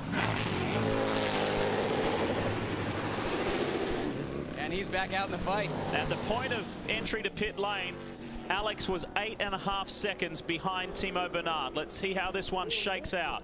Valiante had got himself as high as third in the Mike Shank Racing Ford, so he's made great progress. Whoop, whoop, hang on to it, Alex. Almost ran off the track on exit. Yeah, we talk about it. You got to get back into that groove. It's so different. Just your steering speed, how fast you turn your hands on the wheel is so different when you have grip to having zero grip. Otherwise, the car will just go straight on you. But looking at the last lap time, Rojas on those slicks was still about eight or nine seconds slower than the fastest wet weather runner. So they must just be looking at the sky, looking at the track conditions, and deeming that the track is going to come to them. Rojas now flashes over the line at a 52, and everyone else is in the 46 to 48 range. This is a tough day look at New Jersey Motorsports Park.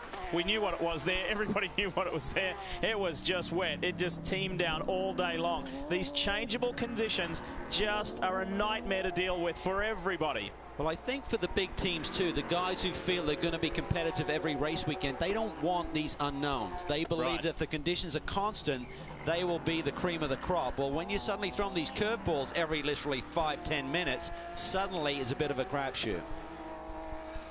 Race leader Timo Bernhard. Now let's take you back just a moment ago. This is Alex Gurney on his outlap. Locked it up, but then you could see started to get that wheel rotating, and that's again the key. You've got to recognize that brake pressure and just try and release that pressure, but still make the corner. And I think Alex did a pretty good job there. I'd be surprised if that would be an issue. Last time around, Bernhard only had a five and a half second advantage over Max Angelelli. Valiante in third, and then this man here, Alex Gurney, in fourth. Christophe Bouchut for Supercar Life Racing has had a very good day. It's been an eventful day, but he is still in the top five. Ricky Taylor, too, after taking over from Canadian Mike Forrest, is running very well also. Roger Penske and the team there will be looking and analyzing all of these lap times with guys on various combinations of tires at the 12 car. When do they need to make that call? When will they start to lose lap time? And it's a critical one. If suddenly the conditions keep going in the direction they're in, suddenly that will flip-flop and Timo Bernhard will be one of the slower runners on the racetrack. The last time around, it was a 1 minute 50 for Timo Bernhard and a 1 minute 46 for Angelelli. There's the SunTrust car in the background. It is starting to zero in on the race leader. Oh, oh hang on, Timo Bernhard off on the grass on pit entry, but he's okay. He tried to carry as much speed and extend that straightaway all the way in. The pit lane speed limiter doesn't even have until you get through that little chicane coming down into pit lane. Then it's 45 miles an hour down to their pit box. Kelly is there. Penske making the decision now to go back with the slicks, and as Chris said with the 99, these appear to be the tires that came off earlier. They were still warm, at least the front right, right, right front, excuse me. And now he's off. We'll have to see how much time they've lost on that pit stop. New race leader Max Angelelli. New second place Michael Valiante, the former teammates from a year ago, are one and two in this race. How quickly can Timo Bernhard get back up to speed, get back in the groove?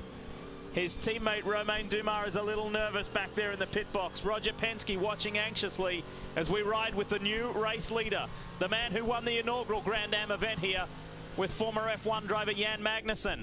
Angelelli loves this place. Can he take it all the way to victory lane today? This will be intriguing.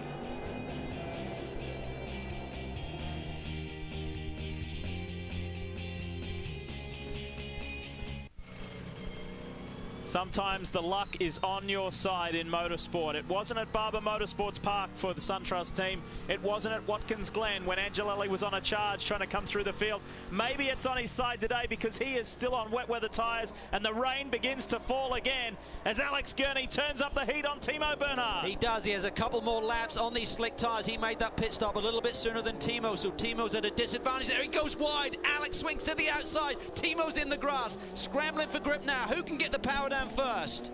Gingerly, gingerly, be nice and smooth with that application. Alex stands on it and it gets sideways. Two of the greatest sports car drivers in the world in really, really tough conditions. These boys are on slicks. Since they made the decision, it's raining again. Angelelli stayed out an extra lap, and then it started to rain. That 99 Gainsco Red Dragon looks more like a sprint car right now. That back end is stepping out everywhere. So too for the Penske Oh, he machine. goes to the inside. Will he touch him? Great control there by Alex Gurney. Stuffed it down the inside, but kept his nose off of Timo Bernhard. Look at this. Dirt track and off the corners. Remember, these boys are on slick tyres. They are on dry weather tyres. Michael Valiante had just came in to change from wets to slicks, and he's gone back out, and we hear he has spun. Well, again, tire temperature again. He waited the, the last of the guys to switch. Timo's off. Gurney slides by. Great work. Timo just couldn't hang on to it. Alex did and just drifted by around the outside. Thank you very much. All the while, our race leader, Max Angelelli, is still on the wet weather tyres. and is out in front comfortably. Look at the concerned look from Romain Dumas at Team Penske, wondering about his teammate. Here's Valiante in the wars. Wow, just as they made that call, they were in between the two strategies. They were kind of running along with the 10 car, staying out there. They made the stop for so Michael's out there, just got out, and look at that, how it snaps away from him. Just a slight curve in the straightaway there, and it was enough to get him sideways. Did a good job not to contact anything. That was from a previous incident. That was not from what we just saw there. We ride aboard the 10 with Max Angelelli. Look how greasy that track is. They deserve a break. But meanwhile, the 12 car, are they making the call to go back to wets? Yes, Yes. they are. Kelly. Yes, they are, and you can only imagine how frustrating it must be for Roger Penske making this call. If they had stayed out on the wets previously longer than the other team, came in for slicks, now they're back on the wets, clearing out some of that grass. Timo Bernhard is back on his way. What a quick grass fire there on the right front rotor as they took that wheel off. Just uh, Timo taking the off-course excursion. And look at this, 99's been off. You cannot believe how hairy it is out there right now for these guys trying to battle the conditions. With the horsepower on tap, with these Daytona prototypes and slick tires, it is just unbelievable. What happened to Alex Gurney? We're about to find out. And he just goes straight. I mean, if he turns the steering wheel anymore, it's just going to make it worse. So once it starts plowing ahead, you're along for the ride in these greasy conditions. That is a popular spot to run off track. As you can see, we've seen many cars do that today. Angelelli boasts almost a 34 second lead over the 99 of Alex Gurney. Where will Timo Bernhard pop back in? Ricky Taylor is in the mix, you know. He's in the top five. And Memo Rojas, the Ganassi pilot, is in fifth.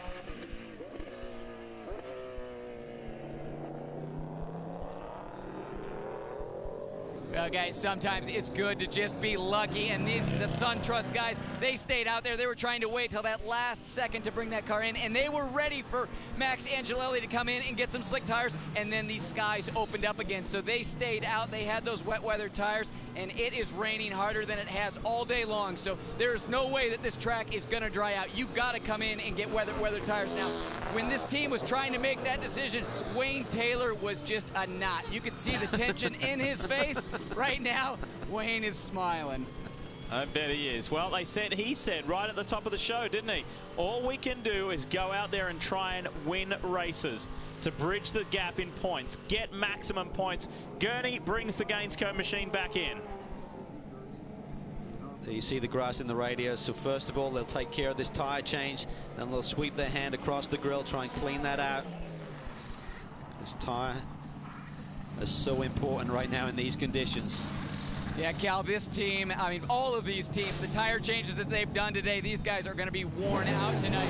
I think these guys are doing tire changes the amount of times that we typically see at the Rolex 24. So these guys definitely earning their pay today. But Gurney on wet weather tires just trying to go out and grab some points. But the 10 is going to make up a lot of points today on the 99 and the 01. Well, leading the score in terms of pit stops right now is the six car. Six pit stops today. Majority of the rest of the field looking at five, but there's a guy out there right now, Angelelli's only made three. That is significant, and Ricky Taylor's having a tremendous run there in third position. The Bio Racing boys once again performing miracles with that low-budget operation. The Lennox Riley with a Chevy power plant. They switched it up a little bit this time. Mike Forrest qualified and did the opening run with Ricky taking on the final stage. This car led the most laps at the recent race at Watkins Glen with Ricky Taylor behind the wheel. This team is young, it's growing, it's learning what Grand Am's all about, and its young drivers are as well. The Ganassi car back in with Memo Rojas. There you see the crew has to wait until the car hits its marks and then they can leap over the wall. That's one of the rules. You cannot be in the pit lane with the equipment, but certainly one of the best in the business in terms of these pit stops. Oh, slight delay there. Memo may have stalled it or not had it in gear. Lost about a second, not a big deal, but everything is crucial right now with this championship setting up. And as we go to a break, Robin Liddell continues to lead GT over Andy Lally and Brian Sellers. The Stevenson boys could be going for back-to-back -back wins here in Montreal.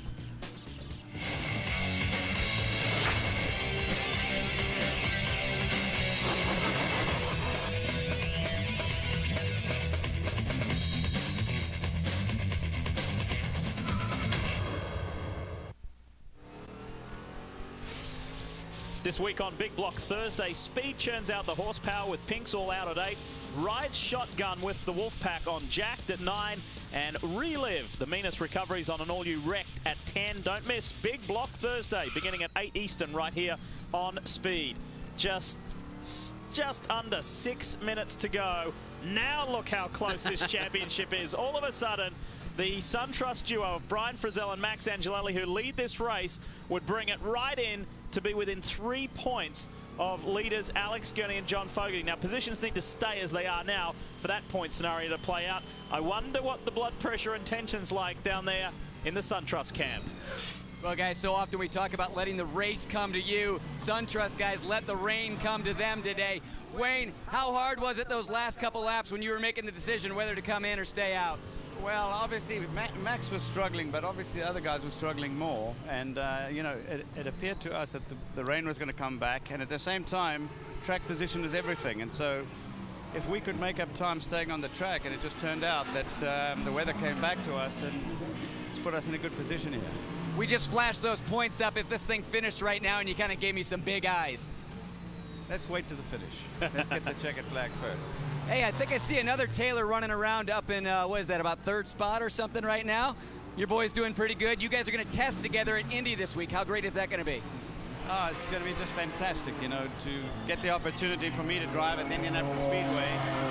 One of the only tracks in the world that I haven't driven, and, um, you know, to have Ricky there with me is going to be like a dream. So I'm, you know, I'm just really excited. I'm thanks to SunTrust, Toshiba, and thanks to Grand Am for, for making all this happen. You know, obviously Max and Brian are our guys for the for the championship, but it just worked out at the last second that we could get this situation to happen. So we're pretty excited.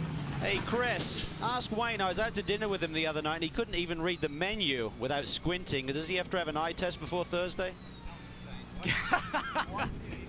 Oh, he, you know he's talking about you. He said at dinner the other night you couldn't read the menu without squinting. You sure you're ready to drive at Indy?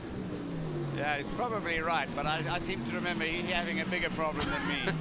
but, but just look after yourself up there, Calvin, because I'm doing a better job down in the pit here. what was funny was he ordered dessert, and then I think he thought about Thursday and said, oh, don't bring it. It's got to fit in that driver's suit this week. Three and a half minutes to go before Angelelli and Frisselle could be winners again. How about the 57 boys? The Stevenson gang, they'll be delighted. There's our two class leaders right there. Angelelli in the 10 and the 57 of Robin Liddell. What a turnaround for Robin. He had a case of food poisoning at Watkins Glen at the last round. He couldn't even drive. Spencer Pumpelly had to come from TRG and just do a couple of laps and then send Andrew Davis back in the car. But Robin is back, and if he can stay here, not only will it be a repeat victory at Circuit Gilles Villeneuve, it'll be the Stevenson Pontiac's third win this year. What a shame they're not in the hunt for the championship like they were 12 months ago. Well, certainly the pressure is off, Robin. I mean, if you're in a championship chase and driving in conditions like this, this would be torturous in terms of making the right decision, keeping the car on the racetrack. But for Robin, he's so far back in the points now. Certainly Andrew's still in the hunt a little bit. But for Robin, it's just go out there, have some fun, win some races. Whoa, he's got his hands full hanging onto that Pontiac GXPR, hasn't he? They had a nightmare at Daytona. They turned it all around at the next round at Barber Motorsports Park. And then it was a tough one for them at Watkins Glen. We drift back to the 66. Brendan Gaughan, NASCAR star Brendan Gaughan driving the South Point sponsored TRG Porsche with Andy Lally. Andy won the first time out here in GT with RJ Valentine a couple of years ago and he's headed for another podium. Great stuff. Started the season off so strongly, winning the big one, the Daytona 24-hour race. Then they had to go all the way to the second race there at Daytona to get their next podium finish of the of the season. So been a little bit of a struggle for the TRG boys this year, but boy, oh boy, when you put Andy Lally behind the wheel in conditions like this, he's going to perform for you. Let's go to the pit box of our GT leaders. Yeah, John Stevenson, team owner, and it looks like Lucky Rabbit's oh. foot this weekend here with the 57. John, we've been talking a lot about this team, what's happening with Pontiac this year. A lot of speculation about what you guys are going to do next year. Can you kind of officially tell me anything yet? Well, uh, unofficially, I'll give you the idea that uh, if we can continue the direction we're going, we'll be in a Camaro program for next year, and it uh, will be a two-car program. So uh, wish us luck on that part. Uh, we just need some more finishes like we're fixing to have here. And where are you with the development of that program? Uh, it will be a Pratt Miller. There'll be Pratt Miller cars and uh, they are underway. Well, that is exciting to hear, guys. It sounds like we're going to have some pretty interesting makes in GT next year. Pretty interesting is one way you could describe Robin Liddell's last half a lap. He is just hanging on. as we caught a glance at this as we were going down to Chris, look at that move. Tires are all locked up. I think he'd already bailed on it and locked the brakes up and just gets the grip back in time. So I talked about it being fun. Maybe it's not so much fun there. Try to hang on for this win. Less than one minute to go here at Circuit Gilles Villeneuve in this two-hour timed race. And all of the drivers and teams will be pleased to see this one over. It has been a challenging day, to say the least. We climb aboard with our overall and Daytona prototype leader, Max Angelelli. He's won here with Jan Magnussen. Is he about to win here with Brian Frisselle? We understand he should be coming to the white flag. There it is. One more to go for the SunTrust Dallara. For Wayne Taylor and his group, we want to give a shout out to the uh, engineer there, Travis Jacobson, and congratulate he and his wife Debbie, who gave birth to their first child, baby boy Wyatt, uh, several weeks ago back in July. So congratulations to both of you guys, and this would be a nice present, wouldn't it, getting the victory? So Travis now has three babies to deal with. He's got his own, he's got Wayne, he's got Max. yeah. He's got his hands full. You're giving him a hard time today. Final lap here in Montreal. Going through the other positions, Timo Bernhard still in second. Young Ricky Taylor how about that? He is in third at the moment. He and Mike Forrest poised for their first Grand Am podium if they can hang on for one more lap. Gurney is in fourth. Frisselle is in fifth. Darren Law, Dial, Valiante, Bouchut, Memo Rojas is right towards the tail of the top 10. Just a sensational run here by Max, and uh, you know he'll be sweating it. He'll be feeling the pressure. He realizes he's just got to keep it clean. But a massive lead that he's really put together here by staying on those wet tires. There's Wayne just trying to see this lap through. They don't need any more bad luck. They just need Max the Axe to bring it home, and suddenly this championship is back on. And another victory coming Dallara's way. The Italian manufacturer will be delighted. There's three different power plants at this point in time on the podium a Ford, a Porsche, and a Pontiac. Alex Gurney has just got by Ricky Taylor. So he's pushed the young duo off the podium. More championship points going the Gainsco way, which is what it's all about. They will increase that lead that we saw from the points as of now. But for Ricky Taylor, what a disappointment for the whole Bayer group. He had a great run going there. Would have been unbelievable to see those guys on the podium. This was the side of the very first victory for AIM Autosport. One of its drivers was Brian Frisselle. Brian Frisselle will be a back-to-back -back winner at Circuit Gilles Villeneuve, along with Max Angelelli. They're both two-time winners here in Montreal. In the wet, greasy conditions, Wayne Taylor's SunTrust Dallara prevails. And some great driving, a little bit of luck, and staying on those wets when needed. Well, you need a lucky break now and again. They've certainly had some hard luck, so all credit to that team in terms of bouncing back, getting back in this championship chase. They deserve this win. All three combinations in the fight for the championship have been champions. In GT, we missed their finish last year because there was a scramble with people running out of fuel. We see it full frame, full picture now. Stevenson Motorsports back-to-back -back winners at Circuit Gilles Villeneuve. Andrew Davis, Robin Liddell are congratulated there. The Brian Mark financial car does it again. And they are three-time winners in this year's Grand Am Rolex Sports Car Series. A wet, challenging day in Canada. We'll wrap it up when we come back. Another victory in 2009 for Max Angelelli and Brian Frisselle keeps them in this championship. And they add that one to their one at Daytona. How about that? Fabulous performance. Wayne Taylor, the team principal, is there to congratulate Angelelli. Here's Brian Frisselle. A real delight for these guys. A little bit of luck and a lot of hard work keeps them in the 09 championship hunt. Fabulous performance. It doesn't get any tougher than that. Oh, these are really difficult conditions for everyone, for the crews, for the management, for the engineers, for the drivers. But at the end of the day, the 10 car came through for a very important victory. They thought they were out of it after the last two races. Now they are firmly back in this championship. Everything to play for with two to go. That's uh, Laz Dennis, the PR representative for the team. He's telling Angelelli just exactly what the championship situation is. I think Chris Neville's there. Chris? Yeah, guys, these guys grabbed that win back in July. They get their second win of the year. Max, talk us through the, those laps leading up to this last rain, how you must have been talking with the team. It's drying, it's getting wet. What was the communication like? We had a lot of communication. I was supposed to pit five laps before, and then they asked me, you know, stay, stay out, one more lap, one more lap. And then I said, okay, this is it. My tires are done. I'm coming in. And then I saw in the, you know, my screen some water. So I said, it's raining. And then we gambled, and we decided to stay out, and it was raining. Back at Watkins Glen, you were behind the wheel when that right rear tire blew, and essentially your championship evaporated. Now you guys are right back in it. It's incredible. You know, this is this is Grand Dam. You never know. During the race, during the championship, you never know. Anything can happen to anybody, and anybody can win. Brian, you were the one sitting in the pit box down there, the team trying to make that decision. We're going wet, we going dry. You sitting there, not being part of that uh, decision at all. How tough was that? It was tough. You know, I, gra- I tapped Wayne's shoulder and I said, "We got to stay out. Look at the lap times. The rains are still quicker." And uh, we, you know, the team called the perfect race. That they're the reason we won. And uh, I just got to hand it off to the whole SunTrust team. It was the perfect race. Now these guys are back in the championship. It's going to go down to the wire, guys. And now Brian Frisselle adds another victory to his tally. Back-to-back wins at this circuit. And let's paint the picture for you as far as championship. Gurney and Fogarty assume the lead. 274 with a five-point margin over Frisselle and Angelelli. That's how important that win was. It doesn't keep them in the championship. They, in fact, leapfrog the Ganassi guys, and they are tied there with a five-point margin.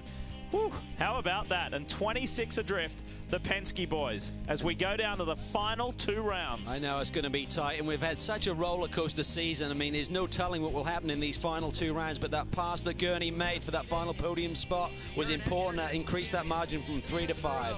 31 points becomes 35 points for Dirk Werner and Leh Keen over Kelly Collins.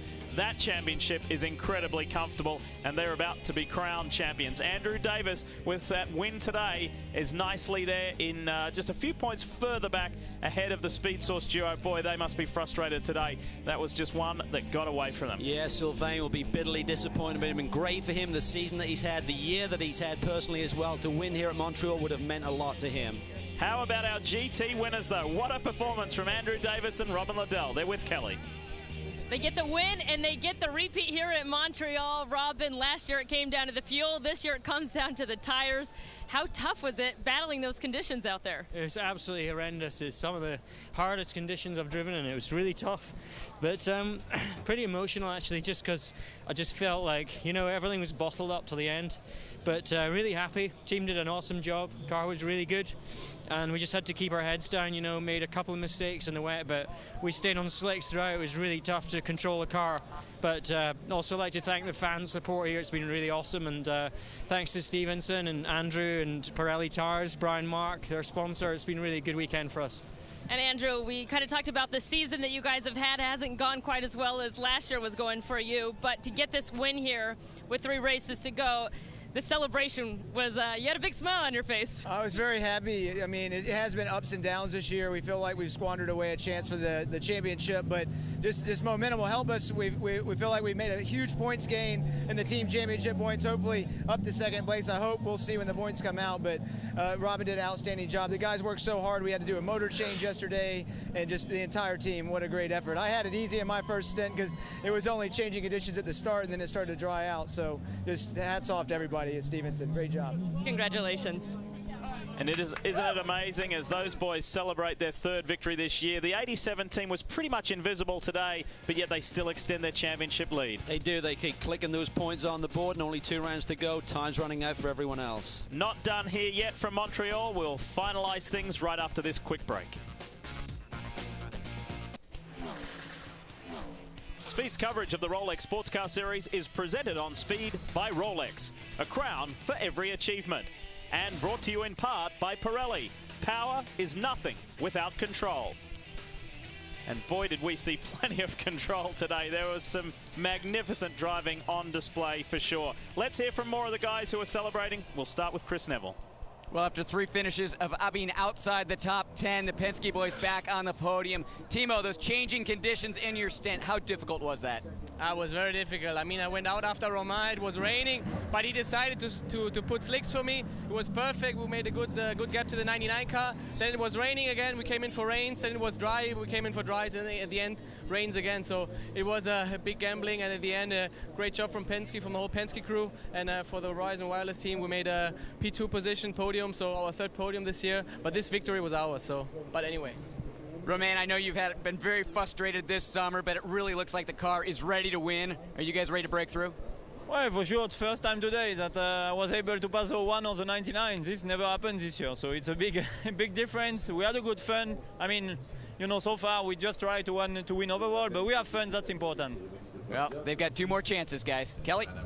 Well, the newcomer Brendan Gaughan and the old vet Andy Lally bringing the 66 Porsche here to uh, the podium in second place. Brendan, hey, not a bad way to start your Grand Am uh, career, huh? No, I told you I wanted to keep the transmission in it, keep all the brakes on it so the man could do it. And I'll tell you what, you got a team with the right people, and you got TRG, you got Andy Lally, but uh, that was just unbelievable watching the last five, ten laps in the rain like that. Andy's just the man. I, I was, I was sitting there. I like being on the race car so much better. That's just nerve wracking. It was nerve wracking. You're out there on slicks, and it got pretty hairy there at the end, didn't it? Yeah, for, for some of the viewers at home to help understand it, the DPs all pitted, came in, got rains because they got single lug, so it's like a 15 second stop. We're at 35.40, so we got to plan a lot more. Uh, when there's under 10 laps to go, it's pretty tough, but I got to thank these guys. TRG put together a great car. Kevin was calling the shots. Brock here's been doing a good job all year. Um, we got Axel and South Point Casinos on the hill, uh, on the on the on the uh, car here this weekend. Dad, don't worry about it. Send a check. it's it's a great weekend. I mean, we're, we're back on the podium here in the Rolex Series, and and this guy, having driven one day in a Porsche in his life, did an amazing job here. Gaughan's a talent for real. Well, and these guys are having fun, Chris. Last time the 99 was leading the points was back in the beginning of June. Alex, that was a great run. You finally got on the podium in those last couple laps. Yeah, it was a really difficult day. Uh, Championship-wise, it was it was a really good day. Um, we hate to give up, you know, a win uh, with, with, such a great car, but uh, a lot of difficult calls out there with with the, the conditions changing so much. Uh, on that last one, when I when I got by the Penske, I, I, figured, you know, we're in really good shape. And then, you know, the, the conditions changed again, and, and uh, we didn't come in the pits. You know, I didn't. I made the call. I didn't come in the pits when I should have. And um, anyway, we were managed to get back on the podium. So uh, overall, when you can come home uh, with a clean car on a, on a wet day, you're uh, in good shape. And they're in good shape for these last two races, guys.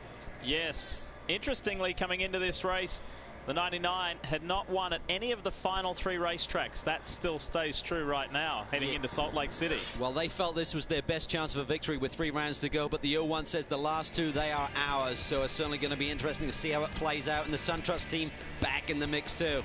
What a day here in Montreal. It started in dramatic fashion with NASCAR star Carl Edwards crashing out before the green flag. It finished in dramatic fashion with the rain coming down and testing all of the drivers' skill set for sure. Some came out a little better, some came out a little worse. It was a tough day for all. You've been watching Grand Am live here on Speed. We look forward to you joining us again as this championship draws to a close. Salt Lake City, Utah, three weeks' time. We'll see you then. Yeah.